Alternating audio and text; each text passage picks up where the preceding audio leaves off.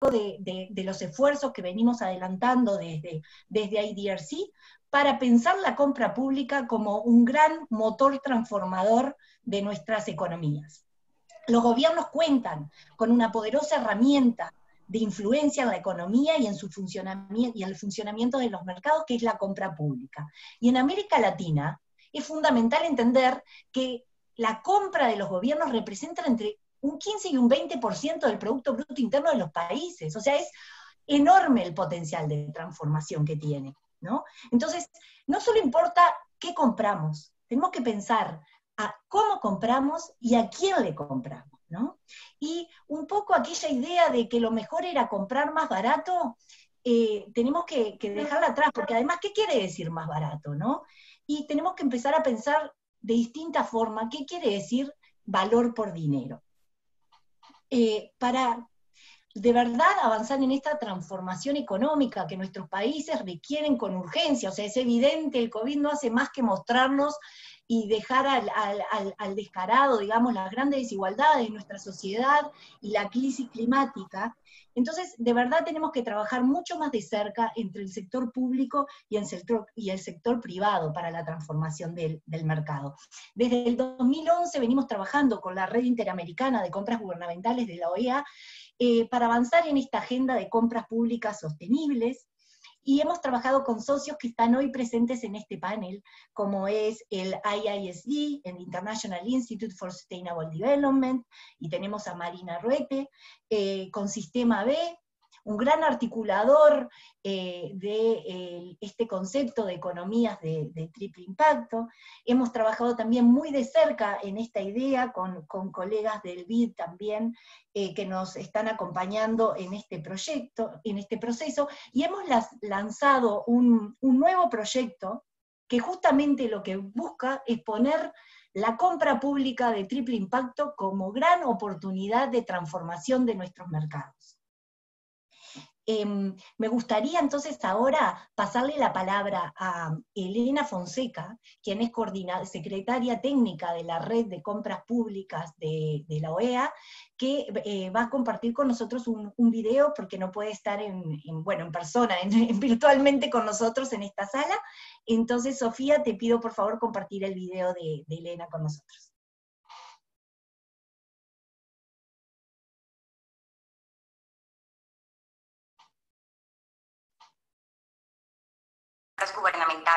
Extiendo un agradecimiento a la agencia Pro Córdoba por la invitación para organizar conjuntamente en el marco de la quinta edición de las jornadas de asistencia humanitaria y sector privado un panel de lujo que resaltará las acciones y estrategias que desde las áreas de compra pública se han venido impulsando para consolidar la agenda en compra pública sostenible y como cimiento para alcanzar una economía de triple impacto en los países. Para lograrlo es necesario generar un adecuado acercamiento con el sector privado para obtener respuestas más efectivas a situaciones de vulnerabilidad, como lo ha sido la pandemia del COVID-19, porque la contratación pública debe convertirse en el área estratégica e inclusiva para el acceso a derechos de los ciudadanos y en el canal efectivo para la reconstrucción del tejido social y empresarial de los países.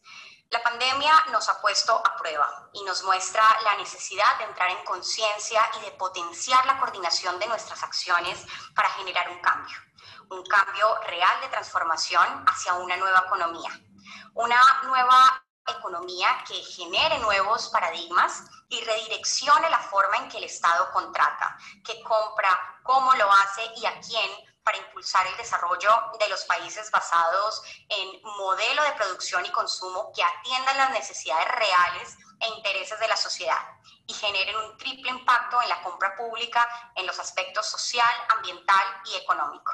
Aprovecho asimismo para resaltar la gestión articulada que hemos construido desde la OEA con el Centro Internacional de Investigaciones para el Desarrollo de Canadá, el Banco Interamericano de Desarrollo y las agencias de contrataciones públicas de los países miembros de la RIG Esto ha permitido la consolidación de la agenda en compra pública sostenible por más de una década y que hoy en su evolución nos ha traído hasta aquí, así como también el apoyo de otros actores como el Instituto Internacional de Desarrollo Sostenible y Sistema B, con quienes hemos venido trabajando articuladamente para aportar a la gestión del conocimiento en esta materia y la generación de estrategias que contribuirán a lograr esta importante transformación. Muchas gracias por este espacio y los dejo con Carolina Robino del IDRC y demás expertos del panel. Saludos y muchos éxitos durante toda la jornada. Bueno, buenísimo. Entonces, eh, lo que vamos a hacer ahora es que les voy a hacer una breve presentación de, la agenda, de cómo pensamos este, la, conversación del día de hoy. Em, y enseguida voy a dar palabra a mis copanelistas. Eh, aquí, reanudar presentación. Un segundo, por favor. Aquí. Bueno, eh, listo. Disculpas, eh, no sé por qué no se mueve. Bueno, traía la agenda, pero... Acá está saliendo la presentación, no sé por qué. Eh, denme un segundo y si no, eh, les hago la agenda de memoria. Ahí la tenemos. Bueno, entonces, eh, como les comentaba, tenemos en este panel a socios en, este, en esta eh, gran iniciativa que busca impulsar en la región la agenda de compras públicas de triple impacto. en primer lugar, entonces, vamos a invitar a Franco de Pascale, experto en compra pública sostenible, para hablar de justamente la compra pública como eje central del de, eh, desarrollo de una economía de triple impacto. Eh, luego, no sé por qué se salió la agenda, pero eh, luego va a hablar Marina Ruete del IIST para compartir una serie de estudios de caso en la región donde las compras públicas se posicionan como gran motor estratégico de, de la transformación. La idea luego es poderles dar a ustedes, los, participantes en este taller, la palabra para que compartan preguntas o comentarios con los panelistas. Pueden hacerlo directamente em, pidiéndome la palabra y yo les daré levantando con la función de la Por favor, les agradezco a todos los panelistas que pongan su, su micrófono, eh, los participantes que pongan su micrófono en silencio. Eh, les comentaba que la dinámica entonces es invitarlos a compartir preguntas eh, con los panelistas haciendo uso tanto de la función de levantar mano o escribiendo sus preguntas en el chat. Y luego volveremos al panel con Marisa Siboldi, también experta en compras públicas sostenibles, y con Claudio Loyola, eh, que también nos va a hablar de compras públicas de triple impacto y la relación con, los proveedores, para luego nuevamente darles la palabra a ustedes para, para iniciar un diálogo con preguntas y respuestas. Eh, entonces, sin más, eh, le paso la, palabra a Franco para su presentación. Muchas gracias a todos y esperamos que esta, mañana sea muy útil y rica para todos. Gracias, Franco, la palabra es tuya. Hola, muy buenos días a todos. En primer lugar, agradecerle a Procordo, a Viviana por la organización, a Carolina, a los panelistas por compartir este espacio. Eh, lo que vamos a tratar de observar hoy eh, es la, compra pública como mecanismo de desarrollo de un, sector económico que pasa a cumplir objetivos estatales y objetivos de desarrollo sostenible comunes. Eh, también estoy teniendo... Vamos a poner la presentación. Antes de empezar en concreto con lo que es el, concepto de compra pública sostenible, eh, corresponde hacer un pequeño análisis de cómo la compra pública ha ido evolucionando con sus objetivos. Entonces podemos observar que en, su primera etapa la compra pública tenía como un, objetivo abastecer de bienes, servicios y productos al Estado, con un mecanismo de control y de cumplimiento bastante básico, el acceso de, las empresas a, la contratación era limitado, empiezan a introducirse conceptos de uso eficiente del dinero, uso, eficiente del presupuesto, empiezan a, marcarse partidas presupuestarias, empiezan a, incorporarse el, el precio como criterio principal de una contratación, buscando y creyendo que era lo más eficiente. Como evolución empieza a surgir eh, organismos externos como internos en, los organismos que, que estaban específicamente destinados a eh, procurar una transparencia dentro del proceso, surge la etapa de la rendición de cuentas, vemos cómo tribunales de cuenta de la provincia eh, sirven como, como veedores del proceso administrativo y también como organismo interno, como puede ser el de fiscalización, empiezan a tomar mayor partido. Después incluye un, concepto anglosajón que se llama valor por dinero, que trata de ver el bien o el producto eh, de una forma distinta del precio, sino considerando el, ciclo de vida del producto. Uno de los ejemplos más claros que a mí me gusta dar es el del aire acondicionado, que fue una de las primeras compras con, con estos criterios, donde se adquiría un producto más caro, pero que a través de un análisis de su ciclo de vida nos daban que era rentable, era más económico comprar un aire con ciertas características más caro eh, y, y ahorrar energía con el transcurso del tiempo, que comprar uno más barato. Bueno, ya este concepto de, valor por dinero se le empiezan a incorporar la posibilidad de cumplir objetivos estratégicos de gobernanza a través de la compra pública, poder participar de forma activa en el crecimiento de un sector económico. Yo acá en el, cuadro siguiente les dejo los conceptos, que esta presentación después se la vamos a compartir, de la visión tradicional de una contratación basado en el, precio más barato, como le veníamos diciendo, donde la gente de contrataciones solamente cumplía tareas administrativas, y, un concepto nuevo de valor por dinero dentro del procedimiento administrativo a través de un análisis no solo del producto bien, sino de la contratación, tratando de fomentar eh, un ciclo de vida más valorable, una mayor rentabilidad, una compra más eficiente. Y vemos también que al, mismo tiempo es necesario una capacitación mayor del funcionario público porque este análisis que se hace diferente al precio, eh, es necesario tener conceptos claros, que, eh, a dónde se apunta, certificaciones que te garanticen esos estándares. Entonces vemos que el concepto de valor por dinero toma relevancia en las contrataciones públicas y es donde llegamos al concepto actual de la compra pública sostenible. ¿Qué es la compra pública sostenible? Es el proceso mediante el cual las organizaciones satisfacen sus necesidades perdón, de bienes y servicios de forma que eh, fomentan este concepto de valor por dinero con el análisis del ciclo de vida del producto, pero a la misma vez que generan beneficio tanto para la organización, para la sociedad y, como para la economía, con el objetivo de cumplir objetivos estratégicos. ¿Qué quiero decir con esto? Que el Estado no solo se va a identificar con la compra de un servicio un bien sostenible, sino que a la vez va a tratar de ser eh, fomentador de un criterio de, desarrollo sostenible que ayude al sector privado a darle escalabilidad y le dé sentido mismo a la metodología de compra pública, porque si fuera una, metodología que se frena en lo teórico, perdería sentido. También comentarles una perspectiva que, tenemos con, la RIC, con el IDRC, con el BIDES, considerar que la compra pública sostenible no es una rama independiente, individual de, la contratación, sino que es algo que engloba todo el proceso.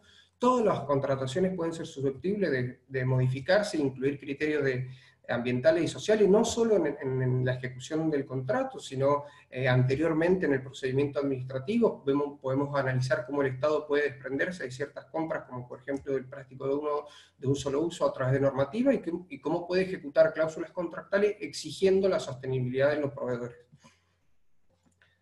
Eh, entonces, para ir cerrando esta pequeña introducción, eh, ¿cuál es la importancia de la compra pública? En principio, que es obligatoria para los Estados porque no, no solo se promueve una adquisición de bienes sostenibles, sino que se le da trazabilidad normativa a, distintas leyes.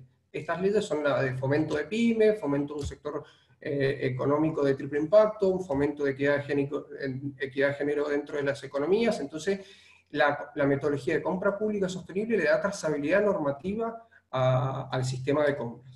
Y por el otro lado, entender también que, el, Estado, a través de la compra, eh, realiza sus acciones de un, modo superador, ya que no solo se dedica a regular acciones de terceros, sino que participa activamente con, su propio dinero, con su propio capital, para que las industrias tradicionales se transformen.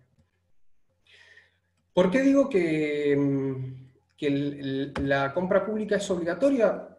En principio, por la trazabilidad normativa que ahora vamos a observar en las siguientes slides, y por el, cumplimiento de los ODS, algo que ya entre todos tenemos que tener eh, claro que la adhesión a los ODS implica ciertas obligaciones y ciertas obligaciones están dentro de los sistemas de contratación. Vemos como en Argentina, como en otras constituciones, se, se declaran los derechos a un ambiente sano, la, equidad, la justicia social, no solo con, eh, cuidando el ambiente de ahora, sino para las generaciones futuras. También vemos cómo eh, distintas leyes generan trazabilidad y cumplimiento al, a la compra, porque sería una falta de coherencia si el Estado le exige al sector privado el cumplimiento de ciertas leyes, pero él a través de la compra no lo, no lo cumple. Entonces vemos que se empieza a lograr una mayor trazabilidad en la legislación ambiental, legislación laboral, eh, social, económica. Vemos cómo los agentes de contrataciones le, le, dan entidad a sectores vulnerables de la sociedad, como puede ser el caso del sello mujer, después Marisa después le, le puede comentar, y también le da cumplimiento a tratados internacionales de derechos humanos y ambientales.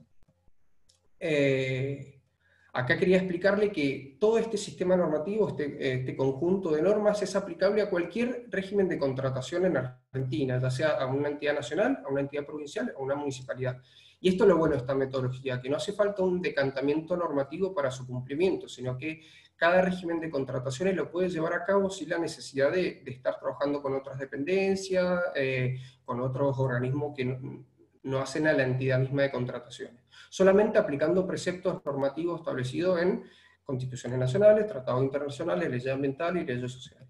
Pero a la misma vez vemos que existe un compromiso a tratados internacionales, en este caso el más importante que tenemos y como norte está el Objetivo de Desarrollo Sostenible, que lleva implícito dentro de los 17 Objetivos de Desarrollo que el sistema económico actual no sirve. O sea, realmente plantea un, direccionamiento de las economías, plantea no solo un, direccionamiento de la economía, sino un trabajo mejor entre, entre los actores, un trabajo mejor entre el sector público, con el privado, con, con sectores sin fines de lucro, y, y, acá es donde surge la importancia, o, donde nosotros vemos la importancia de la compra pública. Que la compra pública eh, cumple de manera directa tres objetivos de desarrollo sostenible. El principal, el objetivo de desarrollo número 12, que habla específicamente de las adquisiciones sostenibles, los fines, establece metas.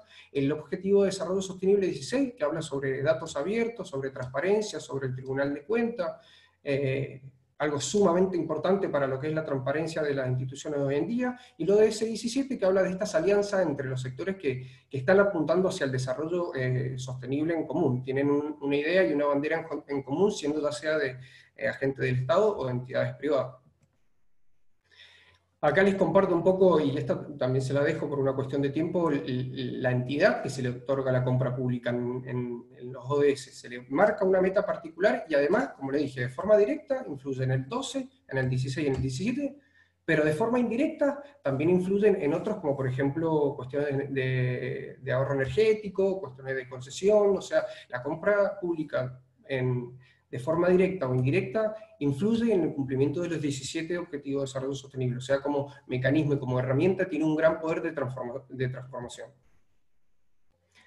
Bueno, acá vamos a analizar un, sector público que tiene incorporado un nuevo concepto de compra pública, donde se está capacitando a los agentes, donde se está buscando una mayor eficacia, la incorporación de un, de un mercado económico de triple impacto, y analizamos lo que viene pasando en el sector privado. Vemos que el, las empresas tradicionales empiezan a sufrir transformaciones, empiezan no solo a tener en cuenta la rentabilidad en, el ámbito de la empresa, sino también que empiezan a darle importancia al impacto social al impacto ambiental que genera su matriz productiva. Vimos que este, que este tipo de sector económico se empieza a ver representado por el cuarto sector.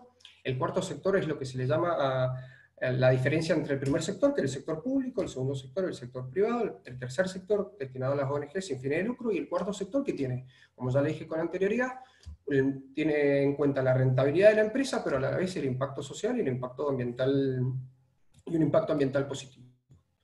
También un pequeño cuadro para ver las diferencias entre los modelos de desarrollo actuales y anteriores con los nuevos modelos de desarrollo cómo se protege el medio ambiente, cómo se busca la, equidad social, realmente eh, tienen, al tener de norte esos, eh, los objetivos de desarrollo eh, sostenible, van, van transformando su matriz productiva.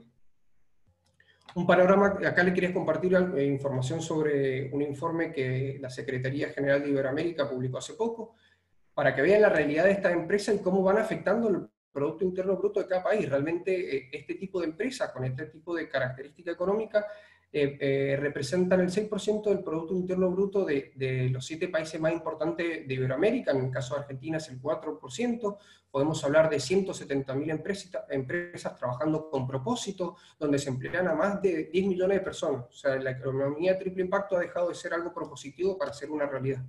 Entonces, los gobiernos son más conscientes de esa necesidad de que a la vez que existe una metodología en el sector público que apunta al desarrollo sostenible, hay un sector privado que está trabajando, que hay que darle identidad, que hay que, incorporarlo a, los mecanismos transformadores, que ya sea una entidad normativa como las leyes de sociedades BIC, una entidad fiscal, el régimen de compra tiene la posibilidad, como dijo Carolina, por el, el porcentaje que ocupa en el Producto Bruto Interno de cada país de transformar la economía y acompañar un crecimiento. Eh, unos datos de Argentina, la compra pública equivalen al 15% del, producto, del, gasto público en, total, representa el 8% del Producto Interno Bruto, o sea, realmente la oportunidad que tiene la, compra pública como mecanismo es muy grande y es lo que se viene trabajando eh, hace tiempo con, estas instituciones, la IRC, la OEA, realmente con los primeros manuales, también en el 2015 con la publicación de compra pública sostenible, en el 2019 con una publicación de datos abierta, en el 2020 con tres publicaciones que tratan un análisis normativo, estudios de caso y, herramientas para la acción.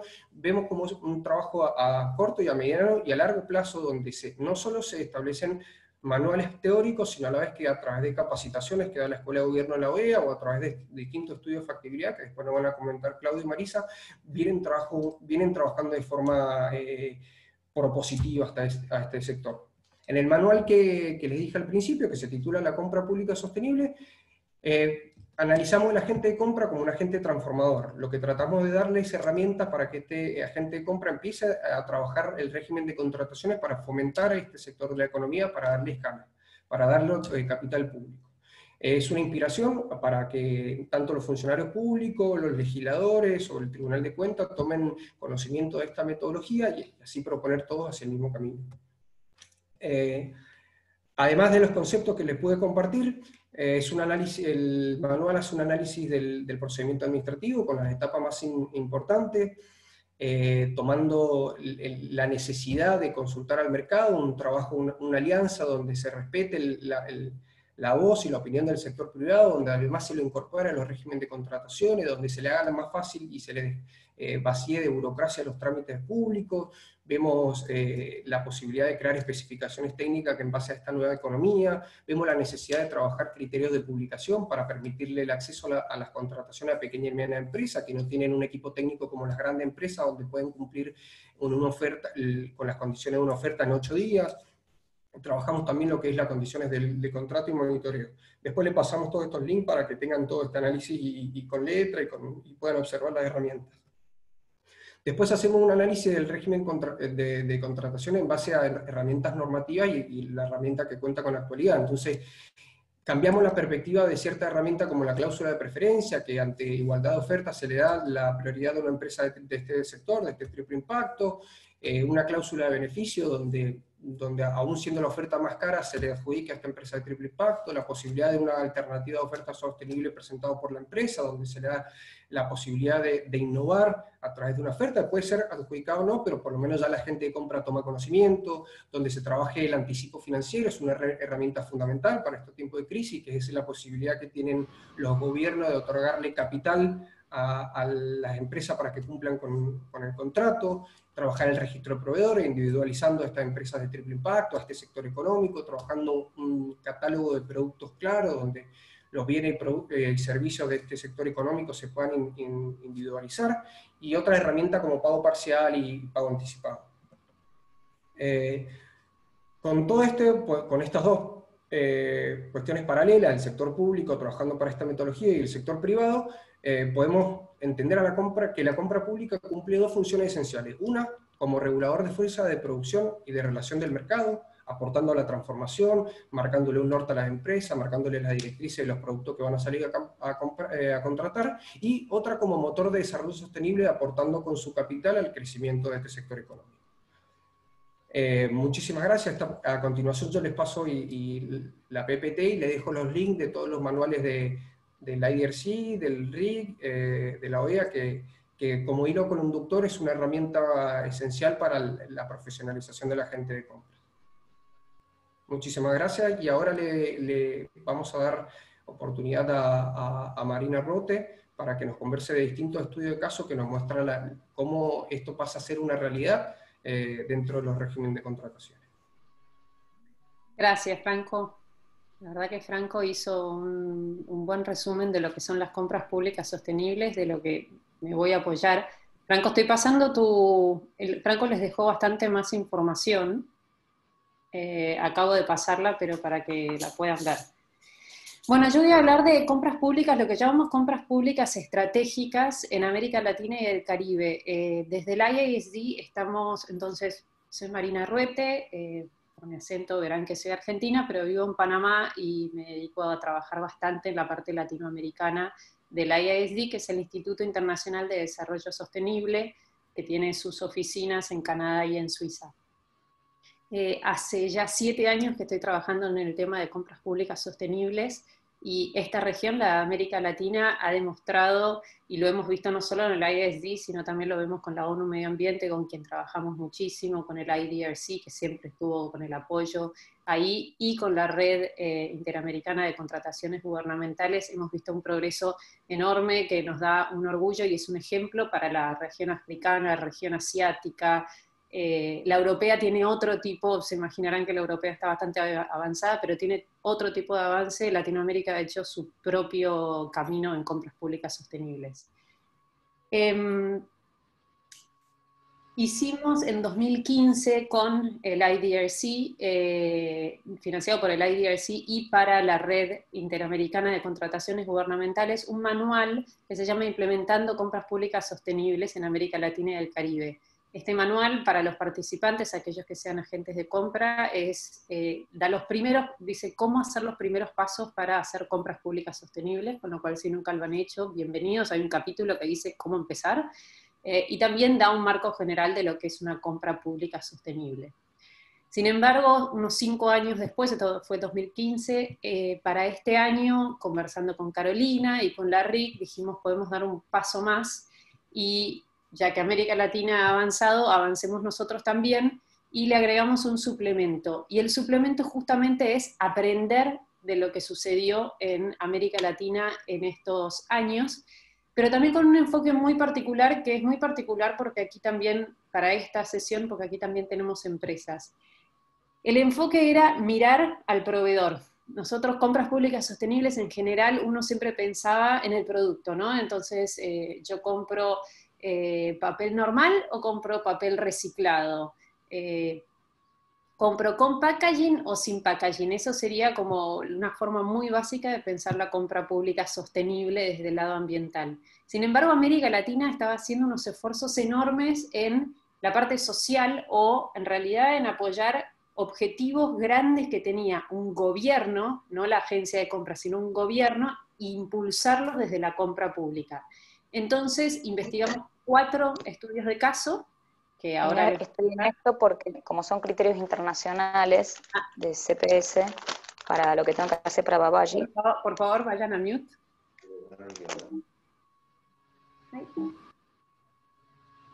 A ver, eh, no estoy pudiendo pasarla, creo que me sacaron el mando.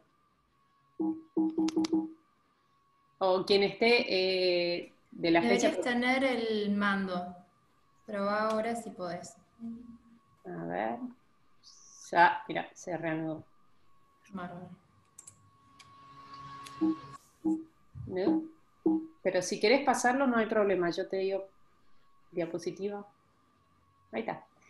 Bueno, y entonces, eh, como decíamos, pasamos de una compra simple de lo que era la compra de bienes y servicios sostenibles a programas ya estratégicos de apoyo al desarrollo sostenible. Ese ha sido el gran avance que ha tenido la región. Siguiente, por favor. Bueno, entonces los cuatro, vamos directo a los cuatro tipos de estudio, porque después las partes conceptuales lo van a hablar, lo están yendo hablando los distintos panelistas. Por un lado, se enfocó República Dominicana en micro, pequeñas y medianas empresas, y ahora más le decimos MIPIMES. Paraguay, por su lado, tenía un programa de agricultura familiar para la erradicación, ojalá, de la pobreza en Paraguay, y las compras públicas fueron hacia allí a apoyar la agricultura familiar.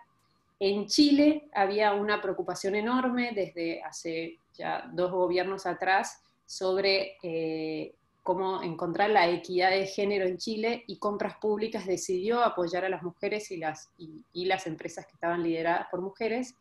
Y por último, Mendoza, aquí en Argentina, tenemos un excelente ejemplo de eh, apoyo a las empresas B. Entonces, felicitemos a aquellas empresas o démosle, premiémoslos con compras públicas a aquellas empresas que tienen un impacto social, ambiental y económico. Siguiente, por favor. Eh, antes de empezar con República Dominicana, eh, les quería comentar, Franco va a comentar después la parte de Mendoza porque él fue un gran protagonista y no quiero robarle su estrellato. Pero así que voy a explicar los otros tres eh, casos de estudio. La idea de los casos de estudio es, los casos de estudio son muy diferentes, sin embargo, lo que buscábamos hacer era procesar todas las lecciones aprendidas y hacer un conjunto de lecciones aprendidas como para que cualquiera que tenga un objetivo eh, de política, entonces no sé, quiero erradicar la pobreza, eh, o quiero apoyar a las MIPIMES, o quiero apoyar a las empresas de triple impacto en su propio país o su propia jurisdicción, lo puede hacer basado en las lecciones aprendidas. Entonces tengo que hacer A, B, C, D, E, eh, viendo que estos han sido casos de éxito. Entonces, República Dominicana. Las compras en República Dominicana representan un 12% del PIB, es bastante alto. Y por el otro lado, tenían una cantidad enorme de MIPIMES que no terminaban de crecer. El 90% del país, eh, de las empresas del país, eran MIPIMES. Esto fue justo ahora que acaba de cambiar la presidencia, pero en la presidencia pasada lo que dijeron es, ok, MIPIMES es eh, la estrella de mi, eh, de mi gobierno para erradicar la pobreza. Entonces, y el mismo presidente, esto es importante, el mismo presidente elevó las compras públicas a un protagonismo de decir, vamos a premiar y vamos a hacer crecer el país eh, dándole las compras públicas a las MIPIMES. Entonces, ante nada lo que se hizo fue trabajar, dejar de que esto sea solamente eh, la agencia de compras que le compra al proveedor que aparezca, sino que empezó a trabajar con todo tipo de instituciones gubernamentales, entonces Ministerio de Industria y Comercio en su momento, eh, tenía los centros de capacitación gubernamentales, eh, Ministerio de Finanzas, todos en conjunto trabajaban para este programa y además sumaron muy activamente la opinión de las MIPIMES, de todos los proveedores, la opinión de las MIPIMES, tenían vedores y tenían también a la ciudadanía a quien le daban constantemente información de forma transparente. Eso por un lado. Siguiente, a ver, no, soy yo. Ah, estoy muy bien. Bueno, ¿y cómo hicieron esto? Entonces, en todos los casos voy a decir cómo hicieron esto de una forma rápida. Entonces, el tema de la promoción de las MIPIMES y desde las compras públicas era una prioridad de política pública. Uno lo podía escuchar al presidente constantemente hablar de esto. ¿Nosotros hemos escuchado al presidente de Argentina hablar alguna vez de compras públicas? No pues esto es muy importante. Cuanto más elevemos la compra pública, más va a funcionar el apoyo a, este objetivo. Se hizo, se hizo mucha investigación, se hicieron estudios preliminares, queríamos saber, querían ellos saber cuáles eran las MIPIMES que habían, cuáles eran las barreras de acceso a las compras públicas, y lo lograron junto al BID. Hicieron capacitación, ahí están los números, 35.000, esto es República Dominicana, no, son, no es un país enorme, 35.000 MIPIMES, más de 35.000 MIPIMES eh, fueron capacitadas y no era solamente en Santo Domingo la capital, sino que las capacitaciones se movían a todas las distintas regiones. Se usó mucho la tecnología, se, digamos, hubo mucho financiamiento para hacer un buen portal transaccional y mismo hoy en día los proveedores tienen una app en el que pueden aplicar de una forma muy simple el marco jurídico se simplificó bastante y esto lo habló Franco, eh, se hicieron marcos preferenciales, entonces le decían a las distintas agencias de compra, entonces Ministerio de Salud, vos 20% de tus compras sí o sí tienen que ir a MIPIMES, organizate. Entonces uno tenía que organizar el presupuesto anual para que un 20% fuera MIPIMES. Este es un dato de color, también tenían dentro de ese 20% un porcentaje y tenía que ir a empresas MIPIMES de mujeres.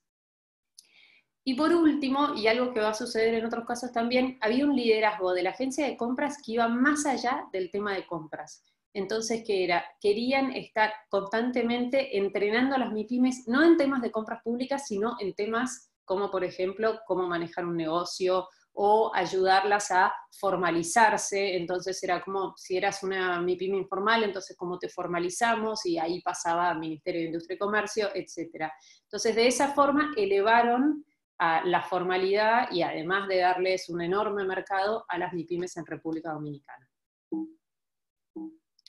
Me Ah, ahí está. Ah, es porque tarda unos minutos, ahí tengo que ser más paciente. Bueno, Paraguay. Paraguay tenía una... Lo que quería era erradicar la pobreza, estaban muy eh, focalizados en eso. Y al mismo tiempo es un país agricultor.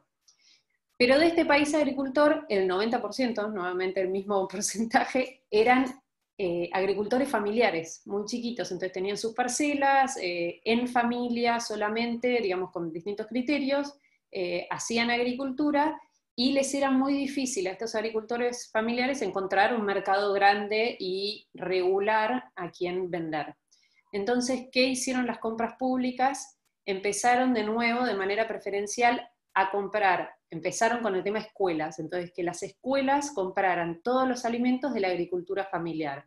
Antes las escuelas podían comprar de un supermercado X o una empresa de catering X, ahora había la compra directa, podía ser una compra directa a la agricultura familiar, a los agricultores de la zona, tenían que empezar con la zona donde estuviera la escuela, y segunda forma de hacerlo se llamaba una compra indirecta, que era la empresa de catering tenía, a la que contrataban tenía que comprometerse a comprar una cantidad X que pusiera cada agencia de la agricultura familiar.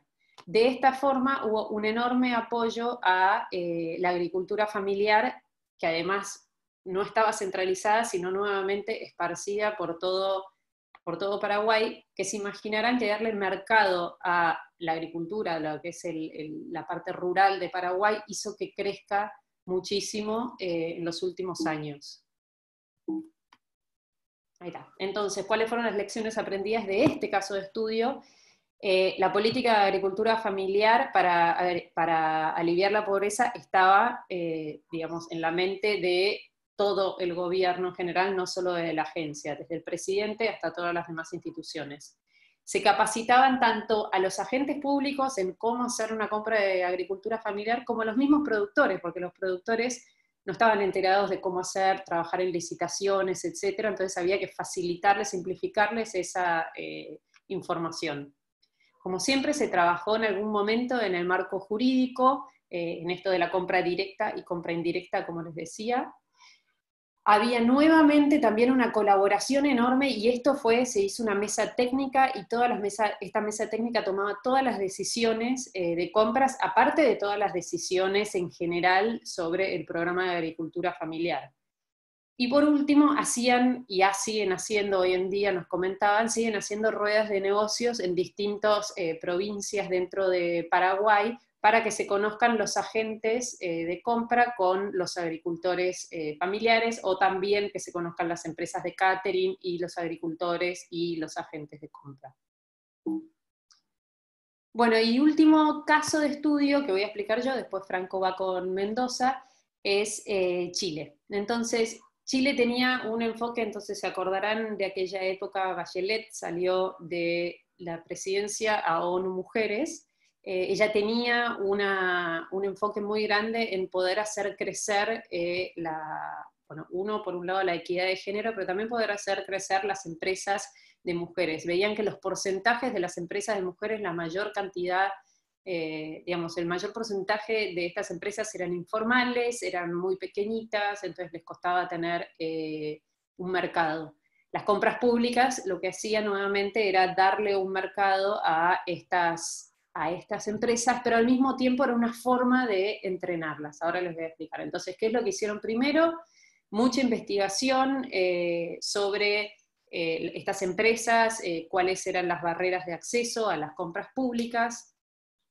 Con esa información base se empezó a capacitar en cuáles eran las necesidades que tenían estas. Entonces, se las formaban, se capacitaba a estas empresas de mujeres, pero al mismo tiempo, como ven, siempre la capacitación tiene dos, alas. Uno es al proveedor y otro es a, eh, digamos, a las agentes de compras para que aprendan a comprarle a este tipo de proveedor. Se trabajó en un marco jurídico basado en recomendaciones en este caso. Se trabajó mucho con cursos virtuales, entonces ya no era capacitación tanto cara, a cara, sino que hacían cursos virtuales que todas podían, las mujeres podían eh, atender y los agentes de compras también. Y eh, el liderazgo fue mucho más allá del ámbito de compras. ¿Por qué? Porque les enseñaban nuevamente administración de empresas a las mujeres, eh, terminaron ganando un, premio sobre servicios públicos que iba más allá en realidad de lo que eran las compras públicas, porque era una agencia que había apoyado enormemente a eh, la mujer. Marina, disculpas, eh, estamos un poquito pasados de, tiempo. sí, ya voy a mis conclusiones. Gracias. Acá.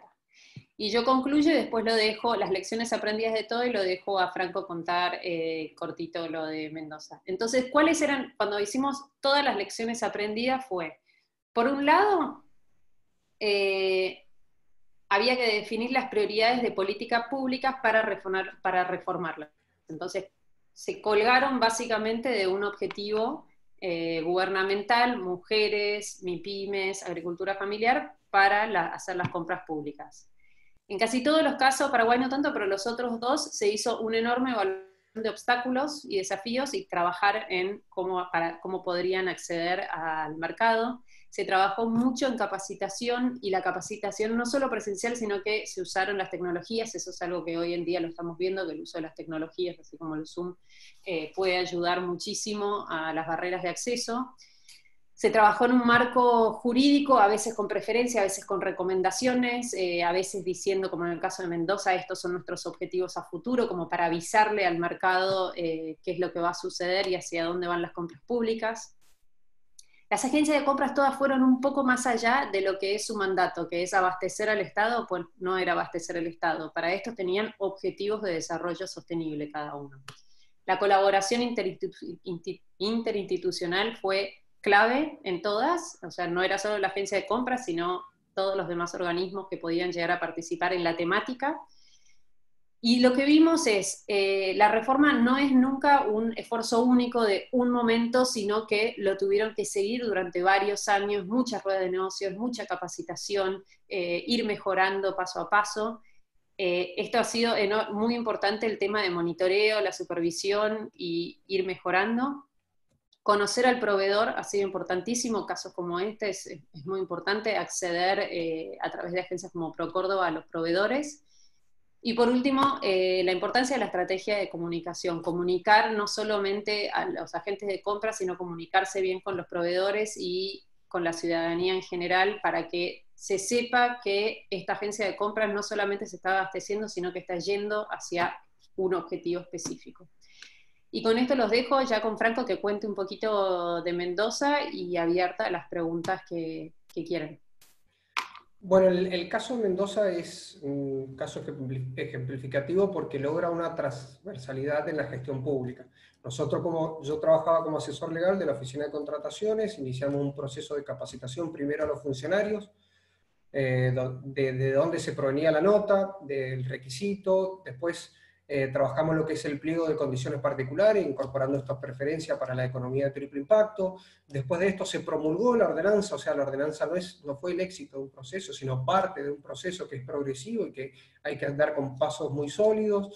se capacitó a los proveedores para que puedan ingresar al registro de proveedores y, y más que nada el, ejemplo es cómo se posiciona una temática dentro del objetivo de gobernabilidad. A través de una ordenanza se puede ampliar los criterios de contratación, como así también eh, exigirle al Estado coherencia en esa misma compra, entonces vemos como un compromiso eh, que inicia en un régimen de contrataciones pasa a ser un compromiso público por la entidad y la importancia que tiene. En el manual y, también en el manual de Marina van a poder eh, ver el estudio de caso específico y toda la herramienta con la que cuenta.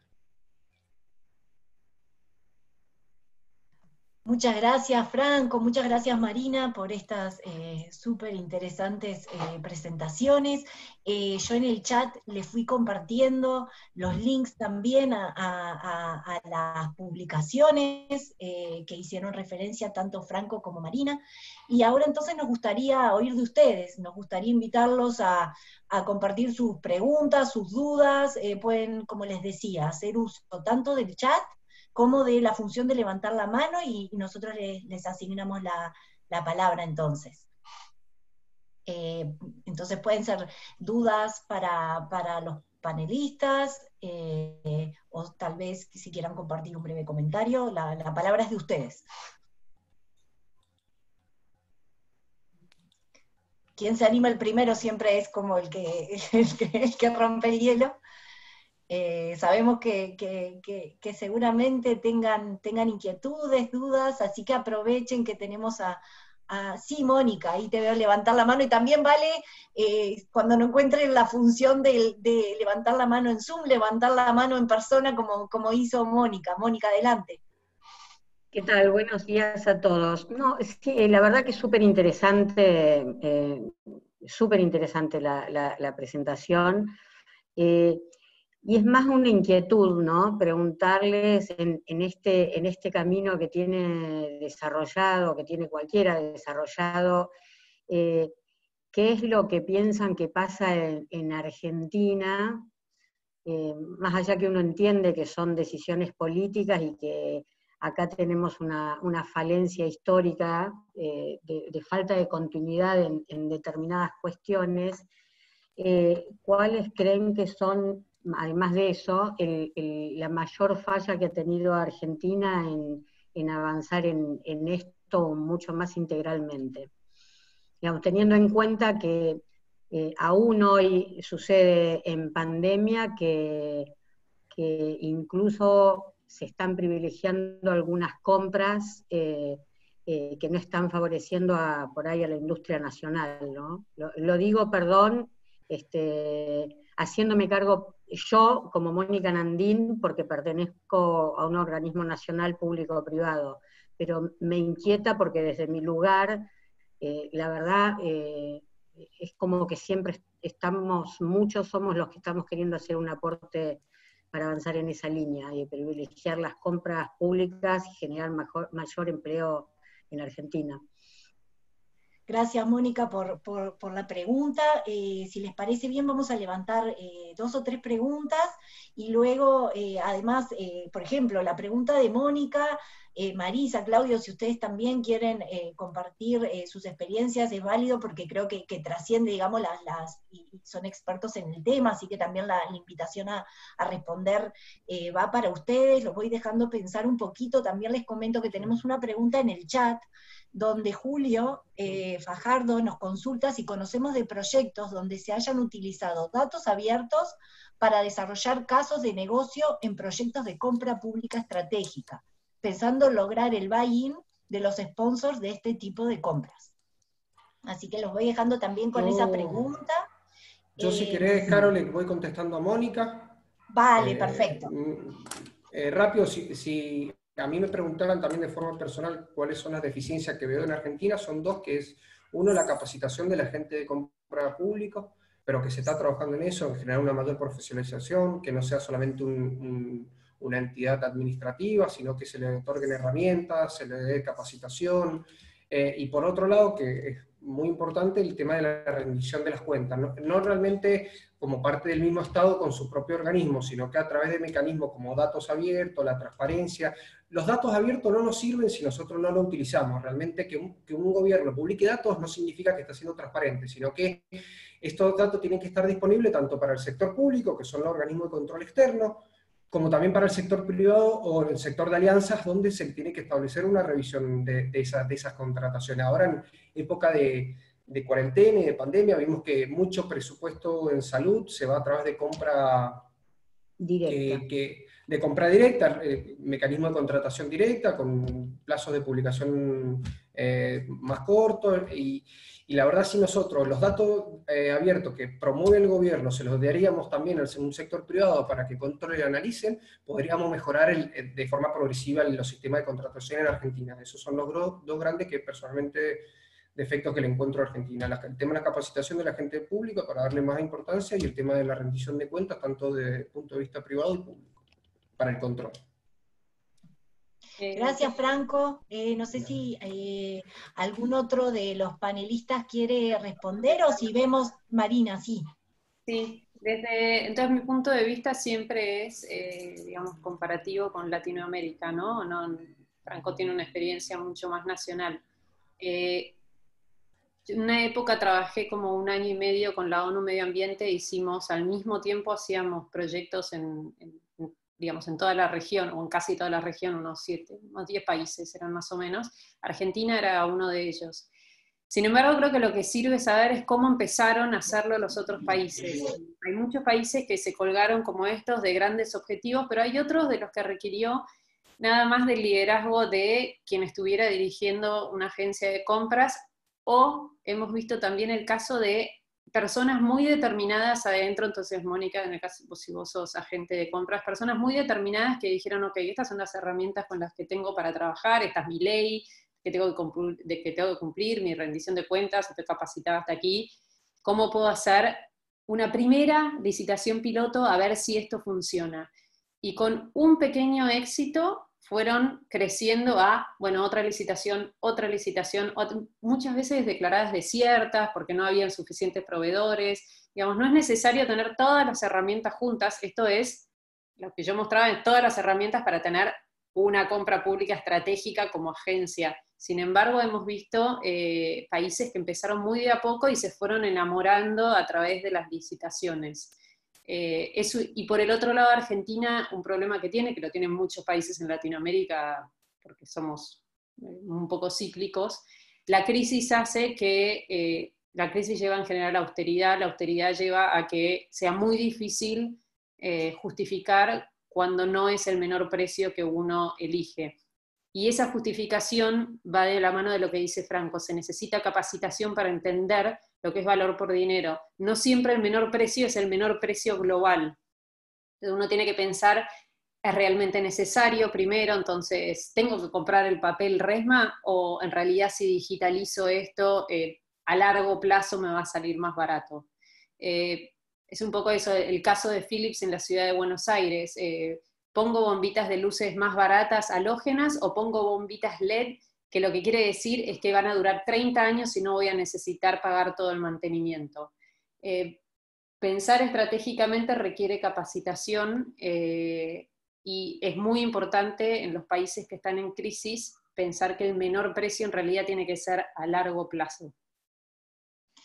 Gracias, eh, Marina. También Charlie, por el, Charlie Doncel por el eh, chat nos pregunta cómo se puede apalancar sobre todos estos conceptos la incorporación por parte del Estado de proyectos de innovación que están alineados con los ODS. La innovación en particular precisa de una visión inteligente para saltar requerimientos asociados a productos fabricados en serie. Eh, Mirá, lo primero que se me ocurre, Charlie, en, perdóname que te diga Charlie, sino que lo veo así en el chat, eh, se me ocurren distintos mecanismos donde se acercan el sector privado y el sector público, que ya han sido ejemplo en Latinoamérica. Realmente crear mesa de diálogo obligatoria entre el sector privado y el sector público, donde se utilice las nuevas tecnologías para grabar esas conversaciones, establecer feria de proveedores con los agentes de contratación y estos nuevos sectores económicos innovadores para que el, el agente compra pública vea los avances, vea el, conozca el mercado innovador que existe. A la misma vez vemos que estableciendo dentro de un presupuesto anual, de la partida presupuestaria de principio de año, un porcentaje obligatorio para compras públicas de triple impacto, de innovación, realmente la jurisdicción lo va a tomar como quiera, pero estas compras que que promueven el, crecimiento de un mercado, se ve el Estado con cierta obligación de, generar mecanismos de conexión y salir a promover un mercado o acercar el que existe y, así empezar a obtener datos ciertos de, qué forma estoy participando con, la compra pública en, la economía. Entonces, alianzas para, para acercar el Estado y que tanto el, el agente de compra se capacite sobre esta innovación, como la posibilidad que tiene el privado de conocer las reglas de contratación y empezar a adecuarse para participar de esto. Sí, sí, puedo hacer un comentario agregado, entonces totalmente en línea con lo que dice Franco. Eh, hay, hay, como una línea de, desde la mesa de diálogo hasta algo que se llama, en, en, Europa se llaman alianzas, que son, digamos, una integración absoluta del gobierno con el proveedor que nuevamente requiere eh, muchísima transparencia, eh, porque si no, obviamente puede ser una corrupción entre proveedor y, agente de compra, pero si se hace de manera transparente se logra. Lo que hay es una herramienta que se llama, ustedes eh, estarán familiarizados con las especificaciones técnicas, las especificaciones técnicas para innovación, por ejemplo, si uno quiere un submarino súper desarrollado, porque esto es un caso real, pues nos ha tocado un submarino súper desarrollado, entonces va a decir, quiero características acero inoxidable de esta forma, que se hunda tantos metros, etc. Una forma de lograr, en vez de un submarino, sino una innovación absoluta, traer a ese proveedor que tiene lo último de lo último de lo último en tecnología es hacer especificaciones abiertas. ¿Qué quiere decir? En vez de decir lo técnico que necesitas, decir cuál es tu necesidad. Entonces, yo necesito un dispositivo que eh, bajo el agua me permita investigar eh, la fauna marina.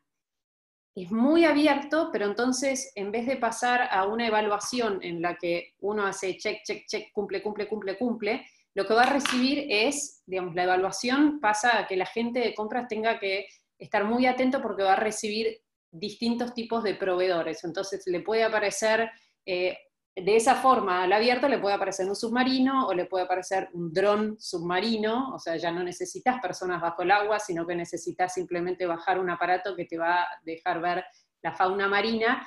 Pero de esa forma uno puede terminar evaluando eh, muchísima innovación. Uno llama, lo que hace es, se pasa el conocimiento de la gente, de, en vez de tener conocimiento de la gente de compra, el conocimiento se lo pasa al proveedor. Entonces uno llama al conocimiento desde el lado del proveedor y el agente lo que tiene que tener es la capacidad de evaluar una cantidad enorme de distintas ofertas, ojalá. Muchas gracias, Marina. Eh, también nos recuerdan que estaba la pregunta de Julio sobre datos abiertos. Eh, eh, Franco la, creo que respondió un poco a esa pregunta y también aprovecho yo entonces a comentarles que desde la red de compras intergubernamentales de la OEA se está trabajando muchísimo el tema de compras públicas y datos abiertos, obviamente por una preocupación central en la agenda de compras que tiene que ver la transparencia, pero también con este objetivo de alineamiento a objetivos estratégicos, ¿no? Entonces, eh, tal vez ahí podemos compartir con ustedes algunos de los recursos que está desarrollando la red, capacitaciones también en ese tema que estaba diciendo Franco, y eh, ahora en el chat, eh, cuando tengo un minutito, les voy a compartir el enlace y referirlos en todo caso a mi colega Elena de la red, que no, que no pudo estar hoy, pero que está disponible para quienes estén interesados en esa temática, que se acerquen y la contacten. Eh, bueno, vamos eh, también contarles que, en el chat, eh, y me alegra mucho, este, están como agradeciendo y, confirmando el interés de, las presentaciones de los, panelistas, y les voy a dar entonces algún minutito más si hay alguna pregunta adicional, y si no vamos a pasar, creo que Franco quiere hacer alguna aclaración, algún comentario adicional, y luego ya vamos a pasar entonces al segundo bloque de presentaciones. Franco.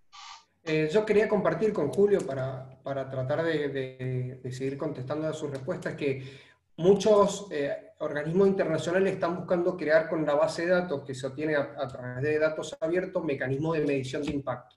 Uno de estos mecanismos de medición de impacto es MAPS, que es del la Organización para el, para el, Desarrollo Económico, donde los países empiezan a registrar esos, eh, eh, datos y empiezan a ver oportunidades de mejora. Una de las oportunidades de mejora que se vio es la utilización del blockchain dentro de, de los procedimientos de contratación. Vemos cómo Perú está utilizando, fue uno de los primeros países del mundo a empezar a utilizar dentro de su orden de compra la tecnología blockchain, y vemos cómo también el, el Banco Interamericano de Desarrollo, a través de distintas alianzas, ha establecido una página sobre iniciativas en toda América Latina de, utilización de, blockchain, de la tecnología tanto para el sector público como para el sector privado. Entonces, esa, esa utilización de datos abiertos ha, ha, iniciado con, este, con esta intención del Estado de poder garantizar cierta información a través de esta tecnología que no solo le sirva a la oficina de contrataciones, sino también a otras oficinas públicas, como puede ser la dirección de personas jurídicas, por ejemplo, porque una compra del Estado, una individualización, de una contratación pública sostenible, puede transformarse en un informe dentro de la DPJ, de la Dirección de Personas Jurídicas, que me garantice el cumplimiento de una empresa que esté haciendo actividad social. Entonces esa tecnología blockchain empieza a hacer más fácil la, la, la desburocratización eh, total. Gracias, gracias Franco. Entonces, gracias Marina también. Eh, si les parece, entonces vamos a pasar al, segundo bloque de, presentaciones, pero los animo a que a medida que seguimos reflexionando y discutiendo sobre este tema, sigan compartiendo sus preguntas en el chat y, les anuncio que luego de las presentaciones de, Marisa y Claudio vamos a tener otra instancia de diálogo. Marisa, la palabra es tuya entonces. A ver si voy, a pasar por la misma experiencia de mis compañeros con el con la presentación. Demora un ratito, me dijeron, pero a ver.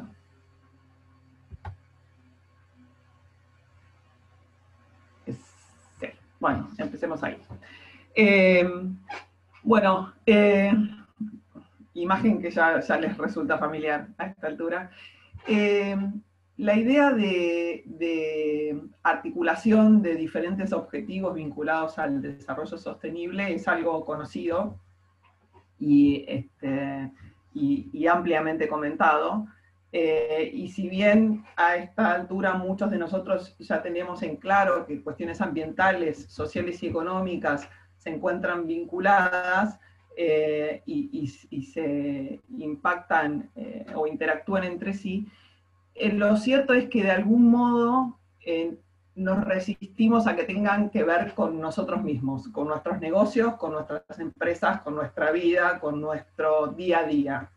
¿no? Lo vemos como algo que está, pero que no nos impacta directamente la pandemia, la crisis global derivada de la pandemia, nos ha venido a mostrar de una manera palmaria y tajante cómo esto no es así y cómo sí repercute directamente sobre nuestros negocios, sobre nuestra vida, sobre nuestra educación, sobre nuestra alimentación y demás. Como nos ha mostrado como una cuestión eh, eh, de cultura alimentaria de un determinado lugar, absolutamente ajeno a la mayoría de nosotros, provocó un impacto sanitario y las grandes eh, y globalizadas cadenas de producción y consumo hicieron ese impacto exponencial y afectó nuestra economía, la forma en la que trabajamos, eh, el trabajo que tenemos, la educación de nuestros hijos, eh, afectó, por supuesto, de una manera mucho más impactante a quienes trabajan en condiciones informales, a quienes no tienen acceso a agua, pasan hambre eh, y tienen un montón de otros inconvenientes y, de, disfuncionalidades que suceden en este mundo con este modelo de desarrollo al que hacía referencia Franco al inicio y que es necesario de algún modo este, cambiar. Ahora bien, está claro que nuestra mirada sobre el mundo y sobre cómo se articulan los diferentes temas ha cambiado y entonces es momento que cambie nuestro modo de gestionar esos problemas y esos temas que hemos comprobado tienen una interrelación directa y afectan directamente a nuestra vida y nuestros negocios. Hasta ahora todos estos temas se han venido gestionando en líneas generales de manera por compartimentos estancos, eh, como si fueran temas absolutamente separados. Sobre todo en las grandes organizaciones, sobre todo en el Estado, donde cada área tiene sus competencias que son propias y tiene una escasa vinculación con otras, y en las grandes empresas. Quizás las pymes son organizaciones más pequeñas que por su propia dinámica permite un mayor conocimiento de, las competencias de, cada uno, de cada sector, pero las pymes también ven eh, su accionar como algo desvinculado de lo que tenga que ver con el desarrollo sostenible. Es importante, yo creo, la primera lección que deberíamos tomar o el primer aprendizaje que deberíamos tomar de, esta pandemia y de esta crisis global es justamente esto, esta nueva visión del mundo, este nuevo modelo de desarrollo que nos obliga a pensar en un nuevo modo, una nueva manera de gestionar los temas que nos ocupan. Eh, sin duda, además de un aprendizaje, nos ha dejado una serie de impactos muy graves, muy fuertes, sobre todo en Latinoamérica. Eh, eh, impactos que tienen que ver con cuestiones sociales, que comentábamos recién, con cuestiones ambientales que aparentemente suenan a, positivos estos impactos, porque al detenerse el mundo, detenerse la economía, eh, se han producido menos emisiones de gases de efecto invernadero, la biodiversidad de algún modo se ha recuperado, pero también con este contexto de crisis social y económica se corre el riesgo de que un montón de acciones que se venían llevando adelante para proteger el ambiente y disminuir las emisiones y proteger la biodiversidad quedan a un lado, como comentaba Mónica recién, hay otros temas que pasan a ser urgentes este, y quedan desatendidos. Obviamente hay impactos en, lo que es eh, el sector sanitario, en la, atención y las urgencias han pasado a ser otras, la infraestructura ha colapsado y las políticas tienen que ser revisadas, pero sin duda donde más notamos, o, donde más eh, el sector que tiene más relación con lo que estamos hablando en este momento, tiene que ver con eh, lo económico y cómo esta crisis eh, esta pandemia global ha afectado tanto la demanda como la oferta, como el financiamiento de las actividades económicas. La demanda claramente contraída por el aislamiento, la oferta también eh, impactada no solamente por el, aislamiento, sino por la pérdida de trabajo de un amplio sector que trabaja en la informalidad, sobre todo en Latinoamérica, y las finanzas de todos estos sectores eh, no, no incluidos que se ven más perjudicadas que, no, que se manejan en un clima de absoluta incertidumbre y no sabemos muy bien hacia dónde se dirigirá. Eh, tenemos entonces un aprendizaje y un contexto caótico de crisis general eh, que requieren herramientas eh, que, ayuden a, recuperarnos, a, volver a una cierta normalidad o a una nueva normalidad. Y entre esas herramientas surge vuelve a resurgir las compras públicas y las compras en general como una herramienta que puede justamente fortalecer la gestión eh, transversal de estos impactos de los que hablábamos.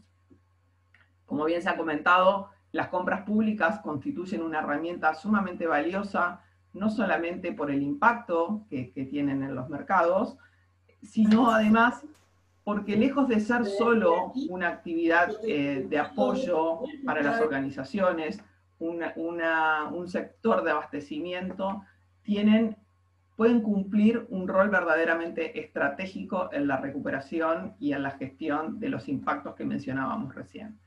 Eh, los sectores de compra o la actividad de compras atraviesa toda la organización, se trata de una organización pública o una organización privada, eh, es las compras son las que hacen posible el cumplimiento del propósito de la organización. Y eso es algo que no debemos perder de vista porque justamente por este motivo se convierte en una herramienta estratégica.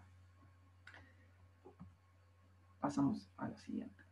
Ahora, si hablamos de la utilización, si hablamos de la utilización de, la, de compras como una herramienta estratégica, no tenemos que perder de vista es un compromiso compartido. Si bien el Estado tiene un rol protagónico en, esta, en esta etapa eh, y las compras públicas constituyen, como decíamos, una herramienta clave, eh, comprar siempre significa invertir fondos públicos. O sea, ¿para qué compra el Estado? El Estado compra para llevar adelante sus objetivos de políticas públicas, para brindar servicios y prestaciones a la comunidad.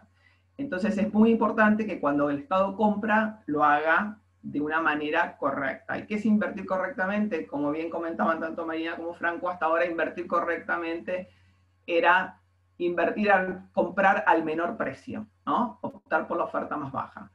Eh, sabemos que es mucho más que esto. Eh, es importante eh, ser conscientes de todos los impactos ambientales y sociales y económicos que hay atrás de cada decisión de compra que se toma, y es importante reconocerlo. Eh, es importante además de, de, obtener el mayor valor por el dinero en cada decisión de compra, tener en cuenta que el Estado, cuando está llevando adelante su actividad de compras, está dando un ejemplo, está mostrando algo a la comunidad. Y el primer ejemplo que debe dar es ser coherente.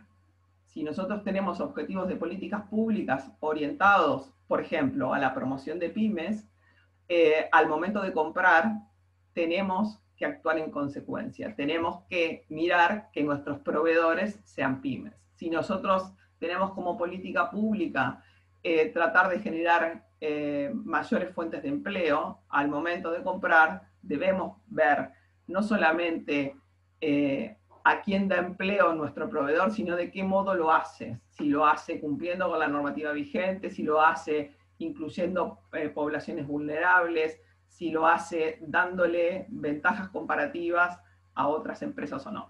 Es decir, eh, parece muy sencillo y muy una, cuestión de sentido común, pero es, es, así en definitiva, ¿no? Se trata de mostrar una cierta coherencia, una congruencia entre los objetivos de políticas públicas y mi acción eh, al momento de llevar adelante eh, los procesos de compras. Las reglas obviamente deben ser claras y la, mejor forma de que estas reglas sean claras es predicando con el ejemplo, y eh, recién hablaban de innovación y de la importancia que es que el Estado cuando compra eh, promueva de algún modo o fortalezca los procesos de innovación. Hay mucho que se está haciendo en este momento, hay proyectos legislativos en la ciudad de Buenos Aires y en otras jurisdicciones tratando de promover eh, la compra pública de innovación. son procesos que requieren una, una maduración. Hay países mucho más avanzados en esto. La compra de soluciones eh, es, como mencionaba Marina, eh, es, una herramienta súper útil para el Estado. Los compradores del Estado en general y sobre todo nuestro país no tienen un entrenamiento o una capacitación específica en las áreas de compras vinculadas al bien o al servicio que están contratando. El, agente de compras que compra una heladera es el mismo que contrata eh, un servicio de artes gráficas o es el mismo que, eh, contrata un servicio de traslado de, pasajeros. Entonces, falta ese conocimiento técnico, esta articulación público-privada eh, en la innovación es clave, pero también es clave la innovación en los procesos de gestión. El Estado debe, si quiere obtener un resultado distinto, debe comenzar a gestionar sus procesos de contrataciones de un modo diferente. Eh, obviamente, como mencionábamos, va a ser es clave ya el rol del Estado al momento de la recuperación y, de lograr una mayor adaptabilidad y resiliencia de, nuestras comunidades. Eh, en la emergencia, en la urgencia, se toman decisiones de compra, no solamente en la Argentina o en Latinoamérica, lo hemos visto a nivel global, se toman decisiones de compra que muchas veces no respetan, o en general diríamos, no respetan los estándares vinculados al triple impacto. Eh, eso debería revertirse eh, y deberíamos eh, hacer un, especial esfuerzo para hacer que, esto se revierta. Y en ese sentido, el mercado, las empresas tienen un rol clave.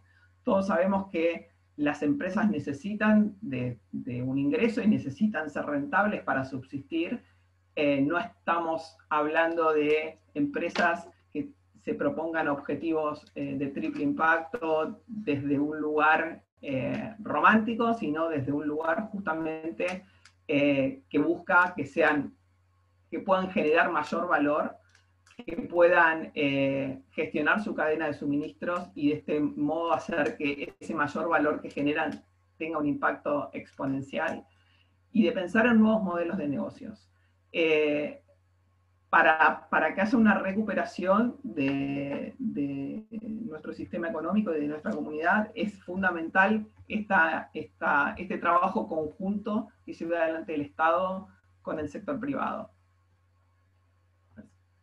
En, en ese marco y entendiendo eh, la importancia de los sistemas de compras eh, como agentes transformadores, agentes transformadores, eh, la, eh, la, OEA, en el marco de la RIC, con el apoyo del Centro de eh, Desarrollo Sustentable y el Banco Interamericano de Desarrollo, ha implementado o está llevando adelante un nuevo proyecto que es de economía de triple impacto a través de las compras públicas.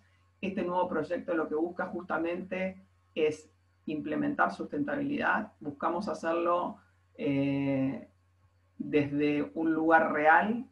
Eh, todos los consultores que estamos trabajando en, estos proyectos somos eh, personas que, trabajamos con el sector privado, pero que tenemos una amplia experiencia en el sector público, que hemos trabajado en, en organismos de compras, que conocemos las barreras reales que existen en los sistemas de compras, que conocemos los reclamos reales y las dificultades reales que tienen los proveedores para participar eh, en, estos, eh, los sistemas de contratación pública. Eh, estamos, se va a trabajar o se está trabajando en, en, un relevamiento y en la factibilidad legal para poder implementar compras públicas con triple impacto, haciendo también un mapeo de las condiciones estratégicas que tienen diferentes sistemas de Latinoamérica, las capacidades que tiene el mercado y los desafíos que se nos presentan por delante. Básicamente a mí eh, me toca eh, trabajar en un proyecto que, tiene que ver con la implementación en Argentina y en Paraguay junto a Iván Buffone. Y eh, de lo que se trata o lo que vamos a poner especial hincapié es en que estas políticas de triple impacto a partir de las compras públicas trabajen en la priorización de objetivos específicos vinculados a este contexto de crisis, objetivos que por supuesto tienen que ver eh, con, con, lo que se ha planteado, con la agenda que se ha planteado cada uno de estos países. Tanto Argentina como Paraguay tienen una agenda en algunos puntos eh, o puntos generales coincidentes y que tienen que ver con este contexto de crisis, que tiene que ver básicamente y fundamentalmente con la generación de empleo, con la recuperación del empleo a la gente que lo ha perdido y con la incorporación de nuevas personas al empleo, tiene que ver con generar oportunidades, pero sobre todo, sobre todo herramientas financieras eh, para las MIPIMES, para que puedan participar efectivamente de los procesos de compras públicas, Siempre ha sido muy difícil para las MIPIMES participar justamente por cuestiones financieras. En este momento es crítico. En Argentina han cerrado muchísimas pymes y es importante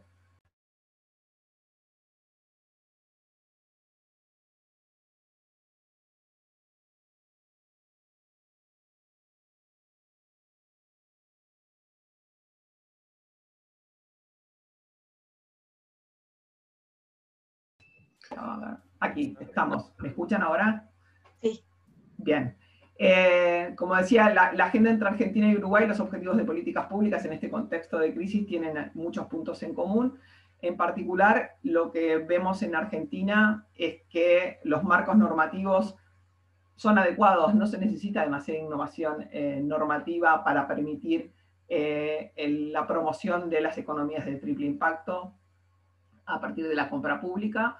Eh, Argentina es un país, a diferencia de otros de Latinoamérica, en, que es un país federal en el cual los gobiernos subnacionales tienen un amplio protagonismo eh, y mucha actividad, tanto a nivel gobierno subnacional como local, eh, en materia de triple impacto. Si bien es heterogénea esa actividad, hay muchos gobiernos trabajando más en cuestiones ambientales y otros en cuestiones sociales pero esa actividad existe y Argentina tiene, como país, tiene la oportunidad de eh, potenciar ese trabajo que ya se viene haciendo a nivel local, tiene plataformas transaccionales electrónicas ya consolidadas que también facilitan justamente la obtención y el procesamiento de datos eh, para poder ir evaluando eh, el desempeño y el impacto que se va generando a través de, esta, de una economía de triple impacto y obviamente tiene grandes...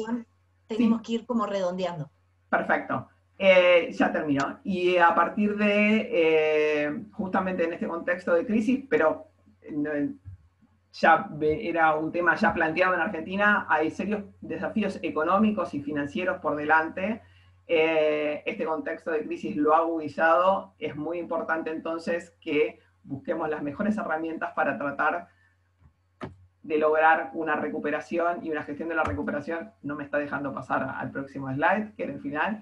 Eh, como les decía, una recuperación de nuestro sistema económico, de nuestra, en nuestra comunidad. Básicamente, y redondeando, este, este proyecto, eh, la idea es que va a terminar con un proyecto piloto, es decir, con una experiencia real en los países, en los sistemas a los que estamos trabajando de eh, compra de triple impacto, Eh, para eso obviamente vamos a trabajar en la capacitación y sensibilización tanto de compradores como de proveedores, con un plan eh, de acción que básicamente tiene como objetivo eh, la posibilidad de generar valor. Y para eso se necesita el trabajo compartido tanto del Estado como del sector privado. Bien, perdón si me pasé. No, muchas gracias Marisa, muchas gracias.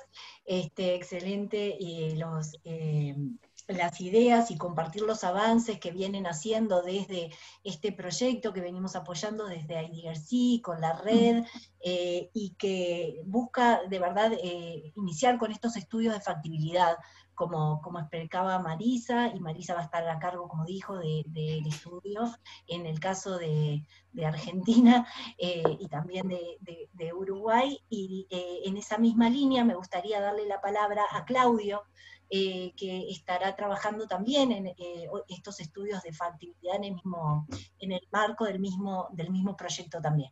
Claudio, entonces te pasamos la palabra. Muchas gracias, Carolina y gracias a, la agencia Procórdoba y a la, RIC por organizar esta actividad, a todos quienes son parte de la organización y por la invitación a conversar hoy día. Eh, y por cierto, a todos quienes nos acompañan desde, desde sus pantallas. Tiene, tiene, varias ventajas este formato de hacer, eh, de hacer las, reuniones más digitales porque uno puede ir tomando nota, aprovechando de perfeccionar, de ajustar más bien los ejemplos o las temáticas. Eh, creo que mi, mis colegas han hecho un, súper buen repaso por todos los elementos relacionados con compra pública sostenible. Eh, y, me he aprovechado yo de colgar de algunos de esos para ir redondeando ciertos temas que me parecía interesantes de, desarrollar y, un poco dar un, un, énfasis más en la transversalidad que la contratación pública sostenible debería tener. Eh, personalmente, no sé qué opinan quienes están en, el taller en este momento, se pueden reaccionar o con su, con su con su dedo hacia arriba o abajo, o bien con la opción que da la misma plataforma de, opinar, pero eh, no sé si todos estamos realmente convencidos de que la contratación pública sostenible está elevada en todos los países a nivel estratégico. ¿eh? Alguien lo mencionó dentro de las conversaciones. ¿Cuánto eh, responde al énfasis que pueden dar algunos funcionarios o algunas organizaciones, a veces mucho más fuertes en los, en distintos países, para poder perfeccionar diversas políticas públicas? En este caso es muy significativo cuántos directores de compra probablemente los últimos 5 o 10 años estuvieron comprometidos con los objetivos de desarrollo sostenible y pudieron entonces impulsar esta política en sus agencias. Eh, sería interesante tener esa, esa interacción y, lograr visualizar eh, en qué nivel pensamos que están realmente comprometidas las agencias con, con, estas materias. Pero donde sin duda hay un compromiso muy fuerte es en el, en el lado de las empresas, y eso se ha visto con todas las cifras que ya se han comentado. Eh, empresas que están tratando de reaccionar a lo que están haciendo hoy día las agencias de compras públicas. Y lo primero, probablemente muchas de las agencias de la región, quienes están vinculados a contratación pública, tendrán esta data más a la mano, pero han estado trabajando en nuevos modelos de compra, principalmente para aumentar eficiencia y ahorro en compras públicas. Eh, y esto, como siempre, tensionado con todos los elementos que conviven en la contratación pública, que son múltiples. Hay múltiples políticas que piden que, que compras públicas sea, como se ha mencionado, el eje del, del desarrollo o un eje estratégico para profundizar en distintos temas. Eh, cuando hablaban del rol que ha tenido compras públicas en esta pandemia, también recordaba el año 2008, 2009, en aquella crisis, muchas de las agencias hablaban de que la, contratación pública y los mercados de compras públicas eran un puerto seguro para las empresas, para sostenerse en, elementos de, contratación pública para poder continuar avanzando y cobijarse un poquitito respecto a lo que estaba pasando con el impacto económico de aquella crisis. En este caso ha sucedido algo bastante parecido. Sin embargo, eh, las agencias siguen pensando probablemente todavía en este objetivo. ¿ah? ¿Cuánto puedo hacer de compras centralizadas? ¿Cuánto puedo coordinar? ¿Qué está pasando con eh, contrataciones a través de catálogos electrónicos? Si comparto o no comparto servicios. En fin, hay, hay una serie de elementos en esa línea. Y probablemente eh, el segundo concepto que está conviviendo hoy día con compras públicas eh, es, una, es una evolución tecnológica. Y alguien lo preguntaba, ¿qué es lo que está pasando con datos abiertos? ¿Cómo los datos abiertos se han posicionado para hacer decisiones más estratégicas de compras públicas? Hay una serie de ejemplos, probablemente los más visibles tienen que ver con transparencia, pero ya vemos muchas agencias que están haciendo decisiones a partir de las métricas y a partir de los datos. Vemos muchas políticas no solamente de datos abiertos en compras públicas, sino presupuestos abiertos en, muchas, en, muchas, eh, en muchos países. Y eso permite una, una, consistencia entre la disponibilidad de recursos, la forma en que se utilizan esos recursos y probablemente la siguiente etapa, que al menos yo la he visto menos desarrollada, es cuán efectivos son esos servicios que termina contratando el Estado en términos de, realmente ofrecer una política pública potente a cada uno de los ciudadanos, que finalmente hacia donde deberíamos dirigir los esfuerzos. Entonces están estas dos cosas. Hoy día la contratación pública está vinculada a hacer aún más eficiencia y a generar eh, una evolución tecnológica que sea consistente con este nuevo escenario. Pero eh, no es lo único. Y, aquí empiezo un poco a enganchar con, la temática que hoy día nos convoca. ¿ah? Si uno quiere hablar de empresas triple impacto y quiere hablar de, de contratación pública sostenible, naturalmente tiende a pensar en cómo el Estado está garantizando no solo los elementos económicos, sino también los sociales y ambientales de lo que contrata. Y, en términos de los elementos económicos, cabe preguntarse si, si, los sistemas de compra estuvieron de alguna forma preparados o tuvieron la posibilidad de, de ofrecer las herramientas para garantizar eh, una reacción al, al, contexto que vivieron, sobre todo durante el primer semestre en términos de los precios para, para los productos y servicios que requería el Estado, sobre todo aquellos más críticos. Eh, naturalmente, me imagino habrán visto varios ejemplos, pero este es uno de los casos, ¿ah? la forma en que aumentó el precio de, los, de, de, las mascarillas, tapabocas o como le llamemos cada uno de los países. ¿ah? Eh, significativo, ¿ah? en promedio un 300%, en muchos países probablemente hasta un 1000% los precios de estos productos que fueron productos de primera necesidad. Entonces cabe preguntarse si realmente las agencias están buscando estos elementos económicos, cómo lo están llevando a cabo. El, y el segundo punto, eh, a mi parecer al menos, eh, también cabría averiguar eh, qué pasa con los elementos sociales, cómo las empresas proveedoras de los gobiernos están respondiendo a esa lógica. Entonces, en términos económicos, claro que sí, el precio está siendo mandado por, por, los grandes distribuidores probablemente, pero en términos sociales, ¿cómo está el compromiso, cómo están los elementos éticos de las empresas proveedoras del Estado? ¿Cuánto están buscando concretar negocios y cuánto están buscando apoyar a los gobiernos a poder llevar a cabo sus políticas y, contar con los servicios que, que, necesitan entregar a los ciudadanos. Entonces, si miramos este otro indicador respecto de los plazos de entrega de los productos más críticos en el, en el primer semestre, también nos vamos a encontrar con que hubo, unos retrasos bien significativos, que naturalmente son del todo explicables, ¿ah? pero es un elemento que tiene que estar presente. Entonces, ya comenzamos a observar que claramente los compradores públicos tienen incorporado no solamente el elemento económico, sino además el elemento social. Y, y por supuesto que también surgió al, principio de esta, de esta pandemia esta consideración de qué es lo que se está comprando, cuáles son las certificaciones, cuál es la realidad de los productos y servicios que estoy adquiriendo, qué es lo que está pasando con la disposición final de todos estos productos que se están requiriendo contratar, dado la crisis que, estamos viviendo en este momento. Y entonces los elementos ambientales se ponen sobre la mesa y, cabe preguntarse si todo lo que se contrató cumple con las certificaciones realmente adecuadas. En ese enfoque entonces eh, nos damos cuenta que es muy presente la necesidad de tener una mirada transversal de cómo se comportan las empresas y una mirada transversal cuando voy a contratar y yo soy el gobierno. Eh, todos los casos de ejemplo que se estaban mencionando eh, terminan conviviendo con esta necesidad de una mejor gestión de proveedores, una mejor gestión de empresas, mejores servicios para nuestros ciudadanos se van a generar en la medida que logramos esa mejor gestión. Y que pasa eh, probablemente mucho por los, como se señalaba, por los compradores, por las habilidades, por las capacidades, por, por, la posibilidad que tengan los compradores públicos de acceder a herramientas para gestionar a proveedores.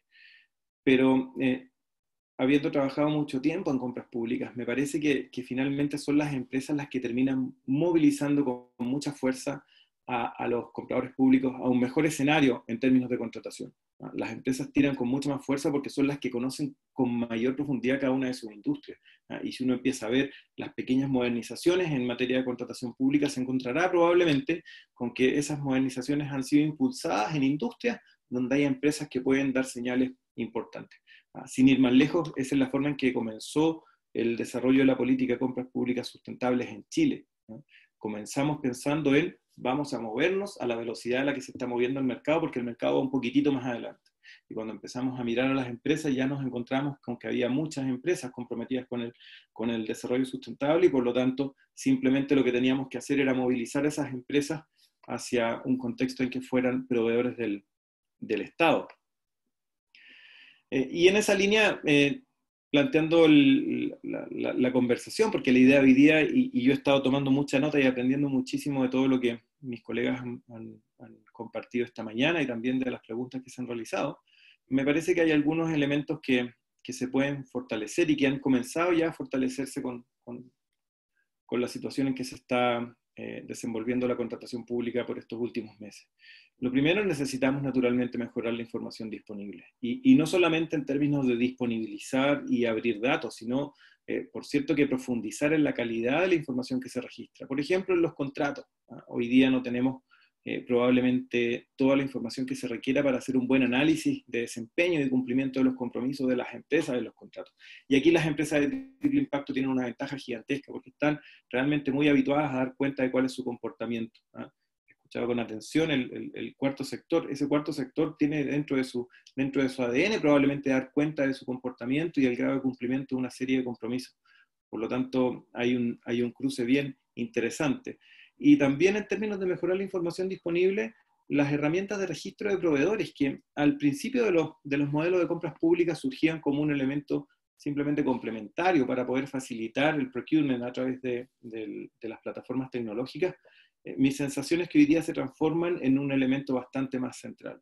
Eh, hoy en día la contratación pública está mucho más abierta, tenemos mucha más información y tenemos eh, gran acceso a las empresas a hacer negocios con el Estado. Por lo tanto, hay una responsabilidad tremendamente interesante para, para las agencias de compra de poder hacer una consistencia entre sus registros, no solamente dentro del país, sino, ¿por qué no pensarlo regionalmente?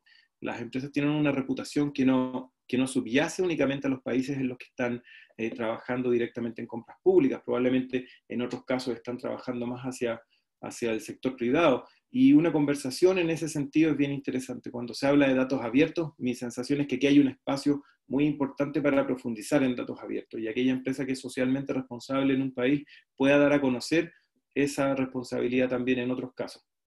Hay información general de las empresas, hay verificación de inhabilidades y, de normativa, y por supuesto calificación, como señalaba, del, del comportamiento contractual que se podría perfeccionar.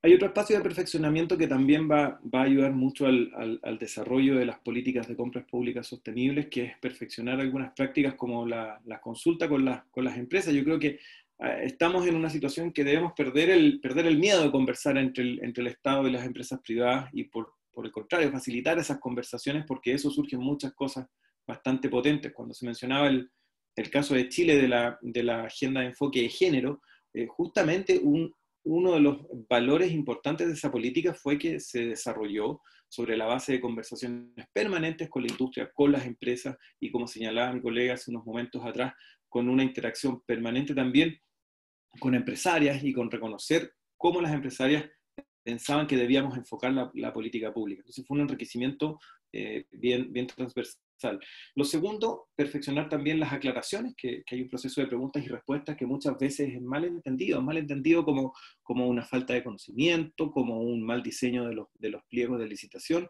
pero sin embargo esa interacción es muy enriquecedora y permite, por lo tanto, aclarar eh, dónde hay algunas brechas y dónde hay puntos de encuentro que se deben perfeccionar. Y, y, lo tercero que ya se mencionó, me parece que las ferias y encuentros es algo que se debería potenciar.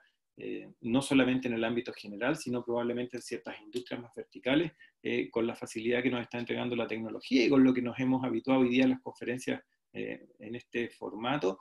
La verdad es que este tipo de encuentros debería ser algo que, no, debería, que no debería retroceder. Finalmente, en relación con, la innovación que se ha mencionado, y, y, me parece que aquí hay un, hay un espacio que ha avanzado con mucha fuerza.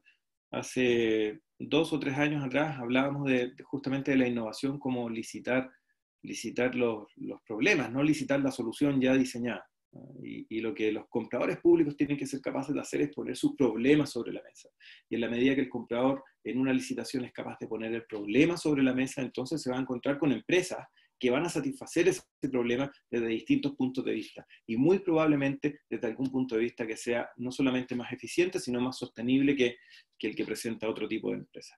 Aquí sí hay cosas que se deben desarrollar, por ejemplo, la posibilidad de que las empresas puedan presentar prototipos, incluso financiar algunos prototipos o algunas tecnologías para que puedan ser incorporadas con el Estado. ¿ah? Establecer esta práctica de análisis de mercado por parte de los compradores públicos, que es algo probablemente no tan, no tan desarrollado, y no solamente hacerlo en, alguna industria, sino además hacer análisis un poco más colaborativos desde el, lado de la, de la, sociedad civil y los, y los compradores.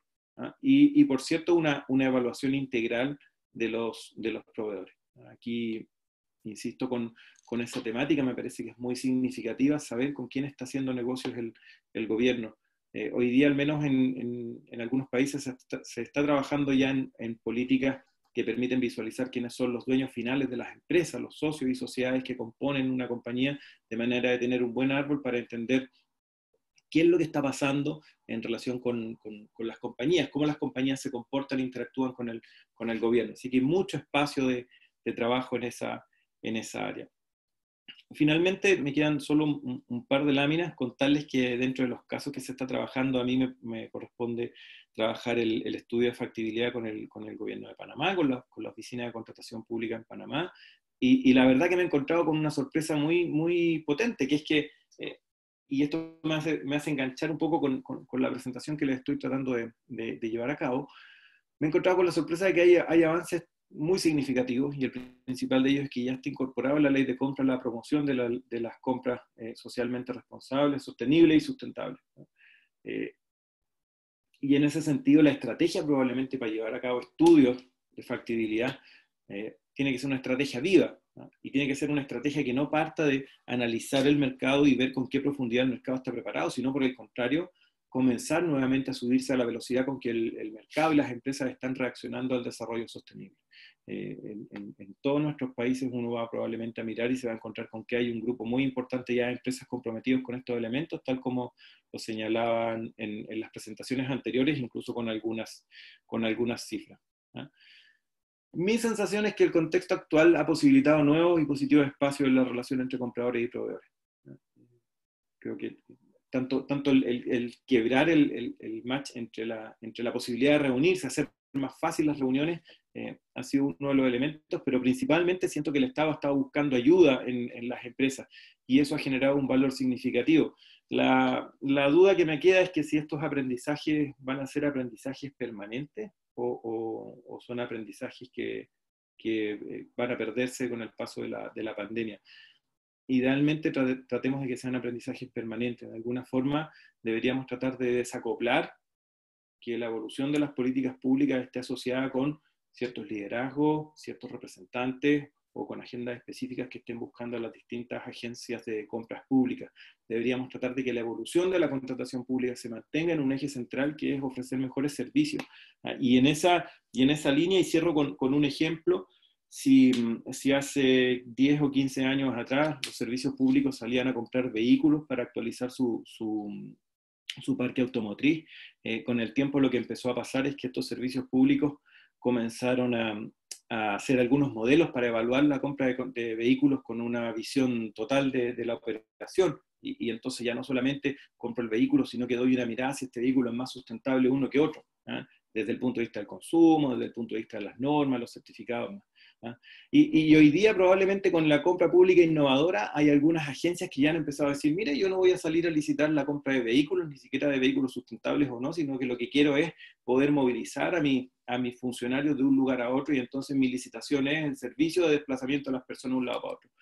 Y esa hasta, hasta hace 20 minutos atrás, esa resonaba como la más innovadora de las ideas, pero justamente con, con el desarrollo de esta conferencia me puse a, a reflexionar y no sé si les suena que eh, los funcionarios se mueven para hacer reuniones. Yo tengo que ir al Congreso porque quiero defender el presupuesto. Y, y, qué diablo? ¿Qué estamos hablando? Si el presupuesto ya lo estoy defendiendo de forma digital, las notarías han digitalizado, las cosas cambiaron en los últimos seis meses. Y, y entonces, capaz que nos encontremos en un tiempo más con funcionarios que digan, mire, provéame un buen servicio para lograr que las autoridades puedan aprobar el presupuesto de alguna forma media digital y ya no tengo que comprar autos para que en el caso de, Chile tengan que viajar 200 kilómetros a Paraíso a, a sesionar en el Congreso. Esa es mi presentación. Muchas gracias por la atención. Muchas gracias, Claudio. Este, darle una vuelta más al tema de, ya no pensar producto, servicio, ni siquiera solución, ¿no? O sea, sino es una vueltita más. Eh, bueno, eh, tenemos un poquito más de, unos minutitos más para, para oírlos ustedes, eh, si tienen comentarios, preguntas, usar el chat también. Así que bueno, los escuchamos. En el chat siguen felicitando a, los, panelistas. Eh, también tenemos un comentario que, bueno, que, refiere a que la primera reacción con relación al sector privado es el incremento de precios para cubrirse. Pese a que son empresas sólidas, con ganancias importantes, es, verdad y siempre existe ese sector privado, pero también, eh, y, como veíamos los datos, eh, más y más hay, una nueva forma de hacer empresa, ¿verdad? Y, de lo que se trata es que esa, esa nueva forma de hacer empresa eh, sea la, mayoritaria, ¿no? Y que ojalá eh, de a poquito esos eh, que, se comportan de esta otra forma que nos cuenta Mónica, que, es muy real, sean los menos, ¿no? Y de lo que hemos tratado de estar conversando ahora es del rol y la función de la compra pública para ayudar a ese cambio, ¿verdad? ¿Alguna pregunta más, comentario más de ustedes? hemos ido compartiendo también los recursos en el chat. Lo seguimos. Sí, Silvina. Buenos días a todos y a todas. Este, bueno, yo voy a hacer un, pequeño comentario desde la experiencia que he tenido a lo largo de 10 años de eh, una empresa que hace licitaciones. Quisiera transmitir simplemente las inquietudes que uno ve cuando se relaciona con el sector público, aunque eh, mayormente mi trabajo es con Naciones Unidas, también he incursionado con sector público. A mí me parece eh, muy buena la iniciativa de querer utilizar la compra pública para dinamizar eh, sectores y dinamizar la economía. Ahora, hay que trabajar bastante para que eso realmente sea una realidad porque si se quiere dinamizar eh, comprando más al sector pyme, eh, ahí hay que articular en una estrategia un poco mayor, no solamente trabajar desde la compra pública, sino darle al sector pyme elementos para que se pueda integrar a la estrategia. Porque si no entramos en un conflicto de intereses por un lado dinamizo y busco objetivos con la estrategia de compra pública, pero por otro lado tengo un sector que se está debilitando. Estoy hablando concretamente en la situación de pandemia en la que estamos. Para dinamizar, dinamizarlo, perdón, también hay que tener en cuenta cómo ve la pyme al sector público. Una pyme tradicional lo ve lejano, lo ve distante, lo ve complicado y lo ve a largo plazo. ¿Por qué?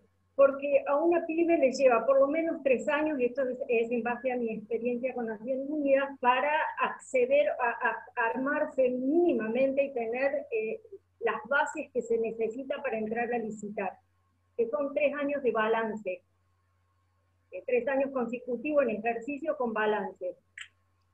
Entonces, eh, primero ya tenemos esos tres años de arranque, más el enorme esfuerzo que eh, implica prepararse internamente para acceder al primer contrato marco.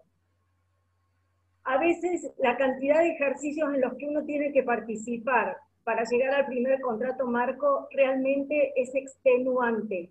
Esa es la palabra que voy a usar. Entonces, eh, no quiere decir que no sea válido, porque el Estado, por otro lado, necesita este, hacer un uso efectivo y eficaz de su, de su budget, de su, eh, presupuesto, perdón.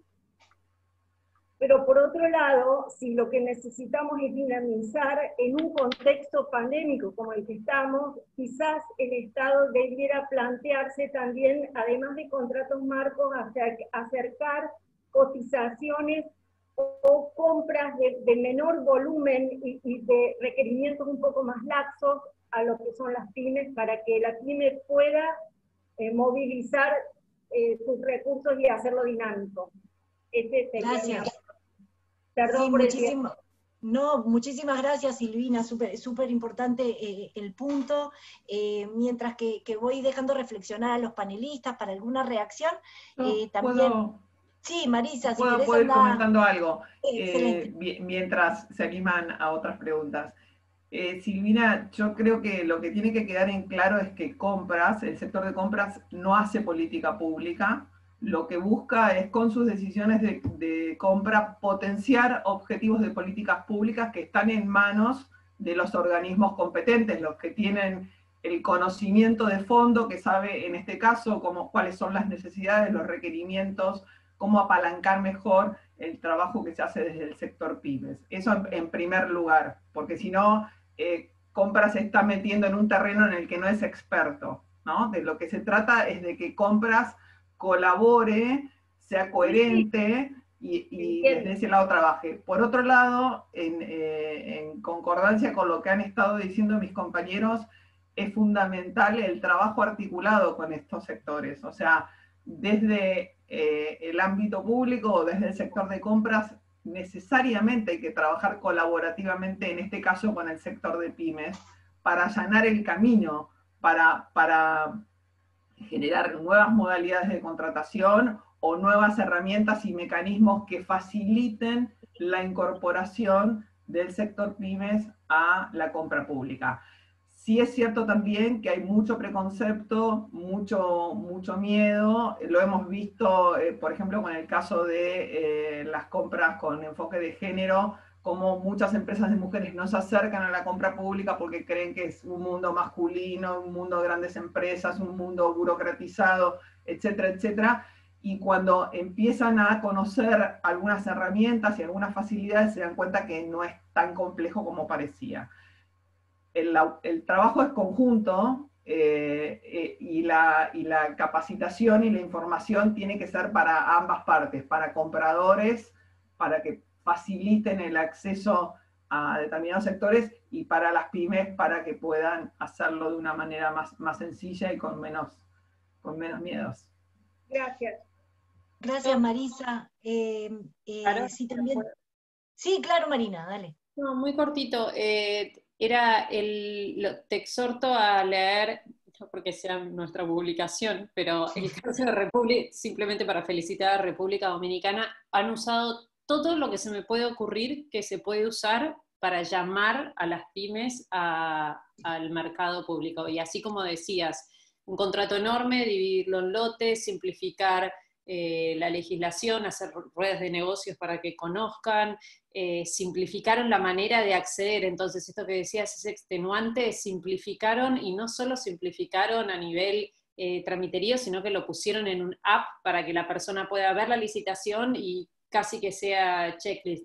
Les dan financiamiento, el mismo gobierno les tiene que dar financiamiento a la pyme por adelantado para que pueda contestar a esa licitación.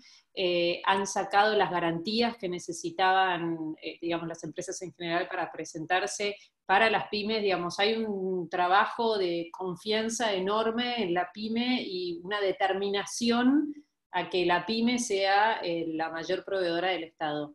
Necesita ante nada, tener, o sea, necesitas ante nada tener una contraparte de agencia de compras muy determinada, porque las herramientas para que puedan llegar las pymes existen en el mundo eh, y no son tan, no, no requiere siempre que pase por un congreso y toda la burocracia y los años que pueden llegar a lograr para que sea legislación. Se pueden hacer muchas cosas intermedias.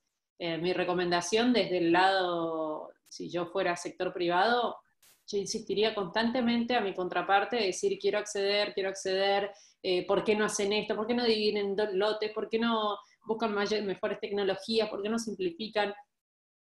Eso creo que si ustedes por lo menos le están dando la idea a ellos, eh, en el caso que no las conozcan, eh, por ahí se animan a actuar.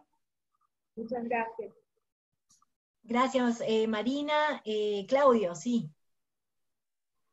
Súper, gracias. Eh, muy, muy interesante la, la pregunta de Silvina, el comentario, pero a mí me parece que, que finalmente, el, el- y no solo en este ámbito, sino en general en todas las reformas que se tratan de hacer en compras públicas, eh, esto recae en la decisión de un comprador, de un funcionario que está frente a un equipo y que tiene que tomar alguna decisión o determinación ¿ah? y que está siendo por otro lado fiscalizado por alguien, ¿ah? que pongámosles el, el nombre que sea, dependiendo del país en que estamos. Ah, y este funcionario además de estar siendo fiscalizado por alguien, tiene una serie, como, como mencionaba Marisa, una serie de políticas públicas que lo tratan de tironear para todos lados, porque todos quieren que su agenda esté presente en compras públicas. Eh, y eso pasa todos los días. yo creo que el, objetivo debería estar eh, probablemente en fortalecer a aquel funcionario a que haga uso de sus facultades. Y aquí me tomo un poco el caso de, Chile. Eh, una de las dificultades de la política de compra pública con enfoque de género era cómo cambiamos lo que ha pasado en los últimos 10 o 15 años en compras públicas en Chile, que es que los funcionarios toman las decisiones que son más explicables ¿ah? o más transparentes, ¿ah? y por lo tanto, por ejemplo, no ocupan el trato directo, porque el trato directo es algo que está muy sancionado, a una decisión un poquitito más estratégica, en donde los funcionarios pueden mirar y decir, tengo una serie de opciones que me establece la normativa. Y, opciones como preferir pymes, preferir empresas mujeres, preferir sectores eh, con menos presencia en la economía. ¿ah? Curiosamente, en el caso de Chile, es, bastante extraño lo que, lo que terminó pasando, porque si bien no habían cuotas específicas para las pymes, la pyme participa en el mercado público chileno dos o, dos o 2.5 veces más de lo que participa en el mercado en general. Pero ¿para dónde voy con esta reflexión? ¿Cómo hacemos que ese funcionario pueda tomar una decisión mejor eh, respaldada?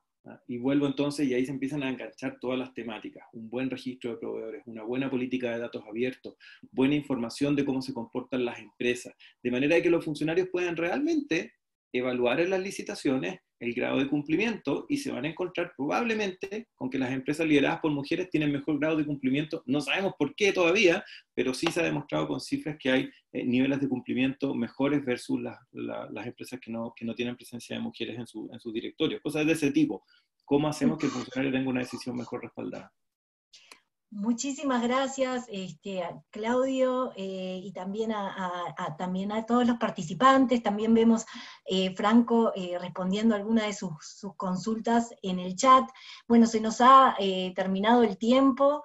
Así que de verdad eh, agradecerles a estos panelistas, creo que de lujo que hemos tenido, y sobre todo ustedes eh, por, todas las preguntas, por el interés, eh, reiterarles que tenemos entonces todos estos recursos compartidos en el chat y entiendo que ProCórdoba también en su portal de YouTube y también en redes sociales está compartiendo estas herramientas, y entonces también extenderles sobre todo a la agencia ProCórdoba, el agradecimiento por generar este espacio, por esta invitación y espero que haya sido una instancia muy útil para, todos, para, para animarnos a pensar en el gran agente de cambio que pueden ser las compras públicas y en el gran agente de cambio que son las empresas para ese mundo mejor que, todos, que todos añoramos y que más eh, necesitamos en este contexto de la pandemia.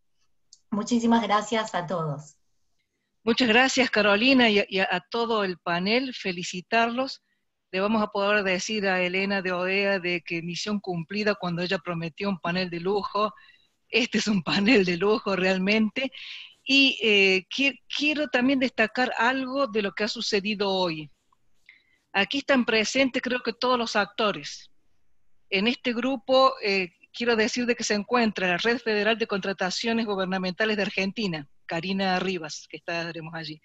Están los gobiernos subnacionales, el gobierno de San Juan, el gobierno de la provincia de, Córdoba, de Misiones, de Chaco, hay de otros países, Julio, Fajardo, Colombia, con quien hemos hecho capacitaciones también, y empresas.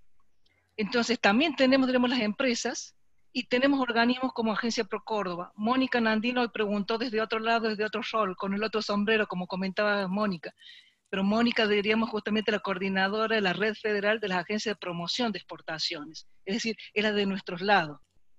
Entonces, cuando Claudio comentó de que uno de los puntos importantes era facilitar conversaciones con las empresas, creo de que hoy se hizo este microclima en donde lo encontramos a Adrián García de, La Pampa, que lo veo y gracias por, participar, diremos, y en donde uno puede escuchar desde el otro lado, o sea, escuchar a, Silvina, diríamos, de una empresa de Córdoba, Charlie de una empresa que es de Buenos Aires, es decir, cuáles son las necesidades, cómo se ve desde el lado de la innovación, de las dificultades, porque todos ellos tienen experiencia. Entonces creo que generar también estos diálogos son muy buenos para ponerse en el rol del otro, en qué se puede aportar y desde allí integrar esta visión con los grandes expertos que son ustedes con estos proyectos que están llevando, llevando a cabo.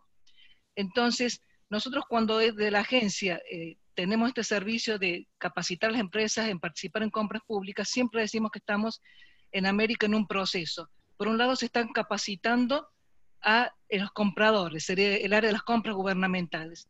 Nosotros estamos haciendo los esfuerzos sencillos, pequeños, pero para capacitar a nuestras empresas y que participen en compras públicas.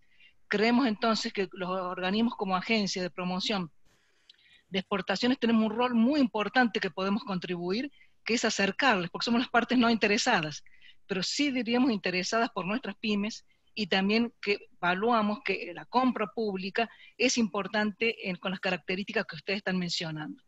Entonces también proponerles también a ustedes y dejarles también esta posibilidad que nosotros como agencias podemos ser facilitadores de estos contactos para que esos diálogos puedan también ser posibles. Así que felicitarlos a, a todos, cada uno desde su rol. Nos quedamos con muchísima información. Agradecerles la generosidad también de todos ustedes, con sus conocimientos amplios, con todo el material que han estado difundiendo también por allí, por, por el chat. Así que me quedan nada más que las palabras de felicitaciones y realmente le vamos a decir a Elena de OEA, panel de lujo, misión cumplida. Muchísimas gracias y buenos días para todos. Saludos y muchísimas gracias. Gracias a todos. Gracias. Saludos a todos.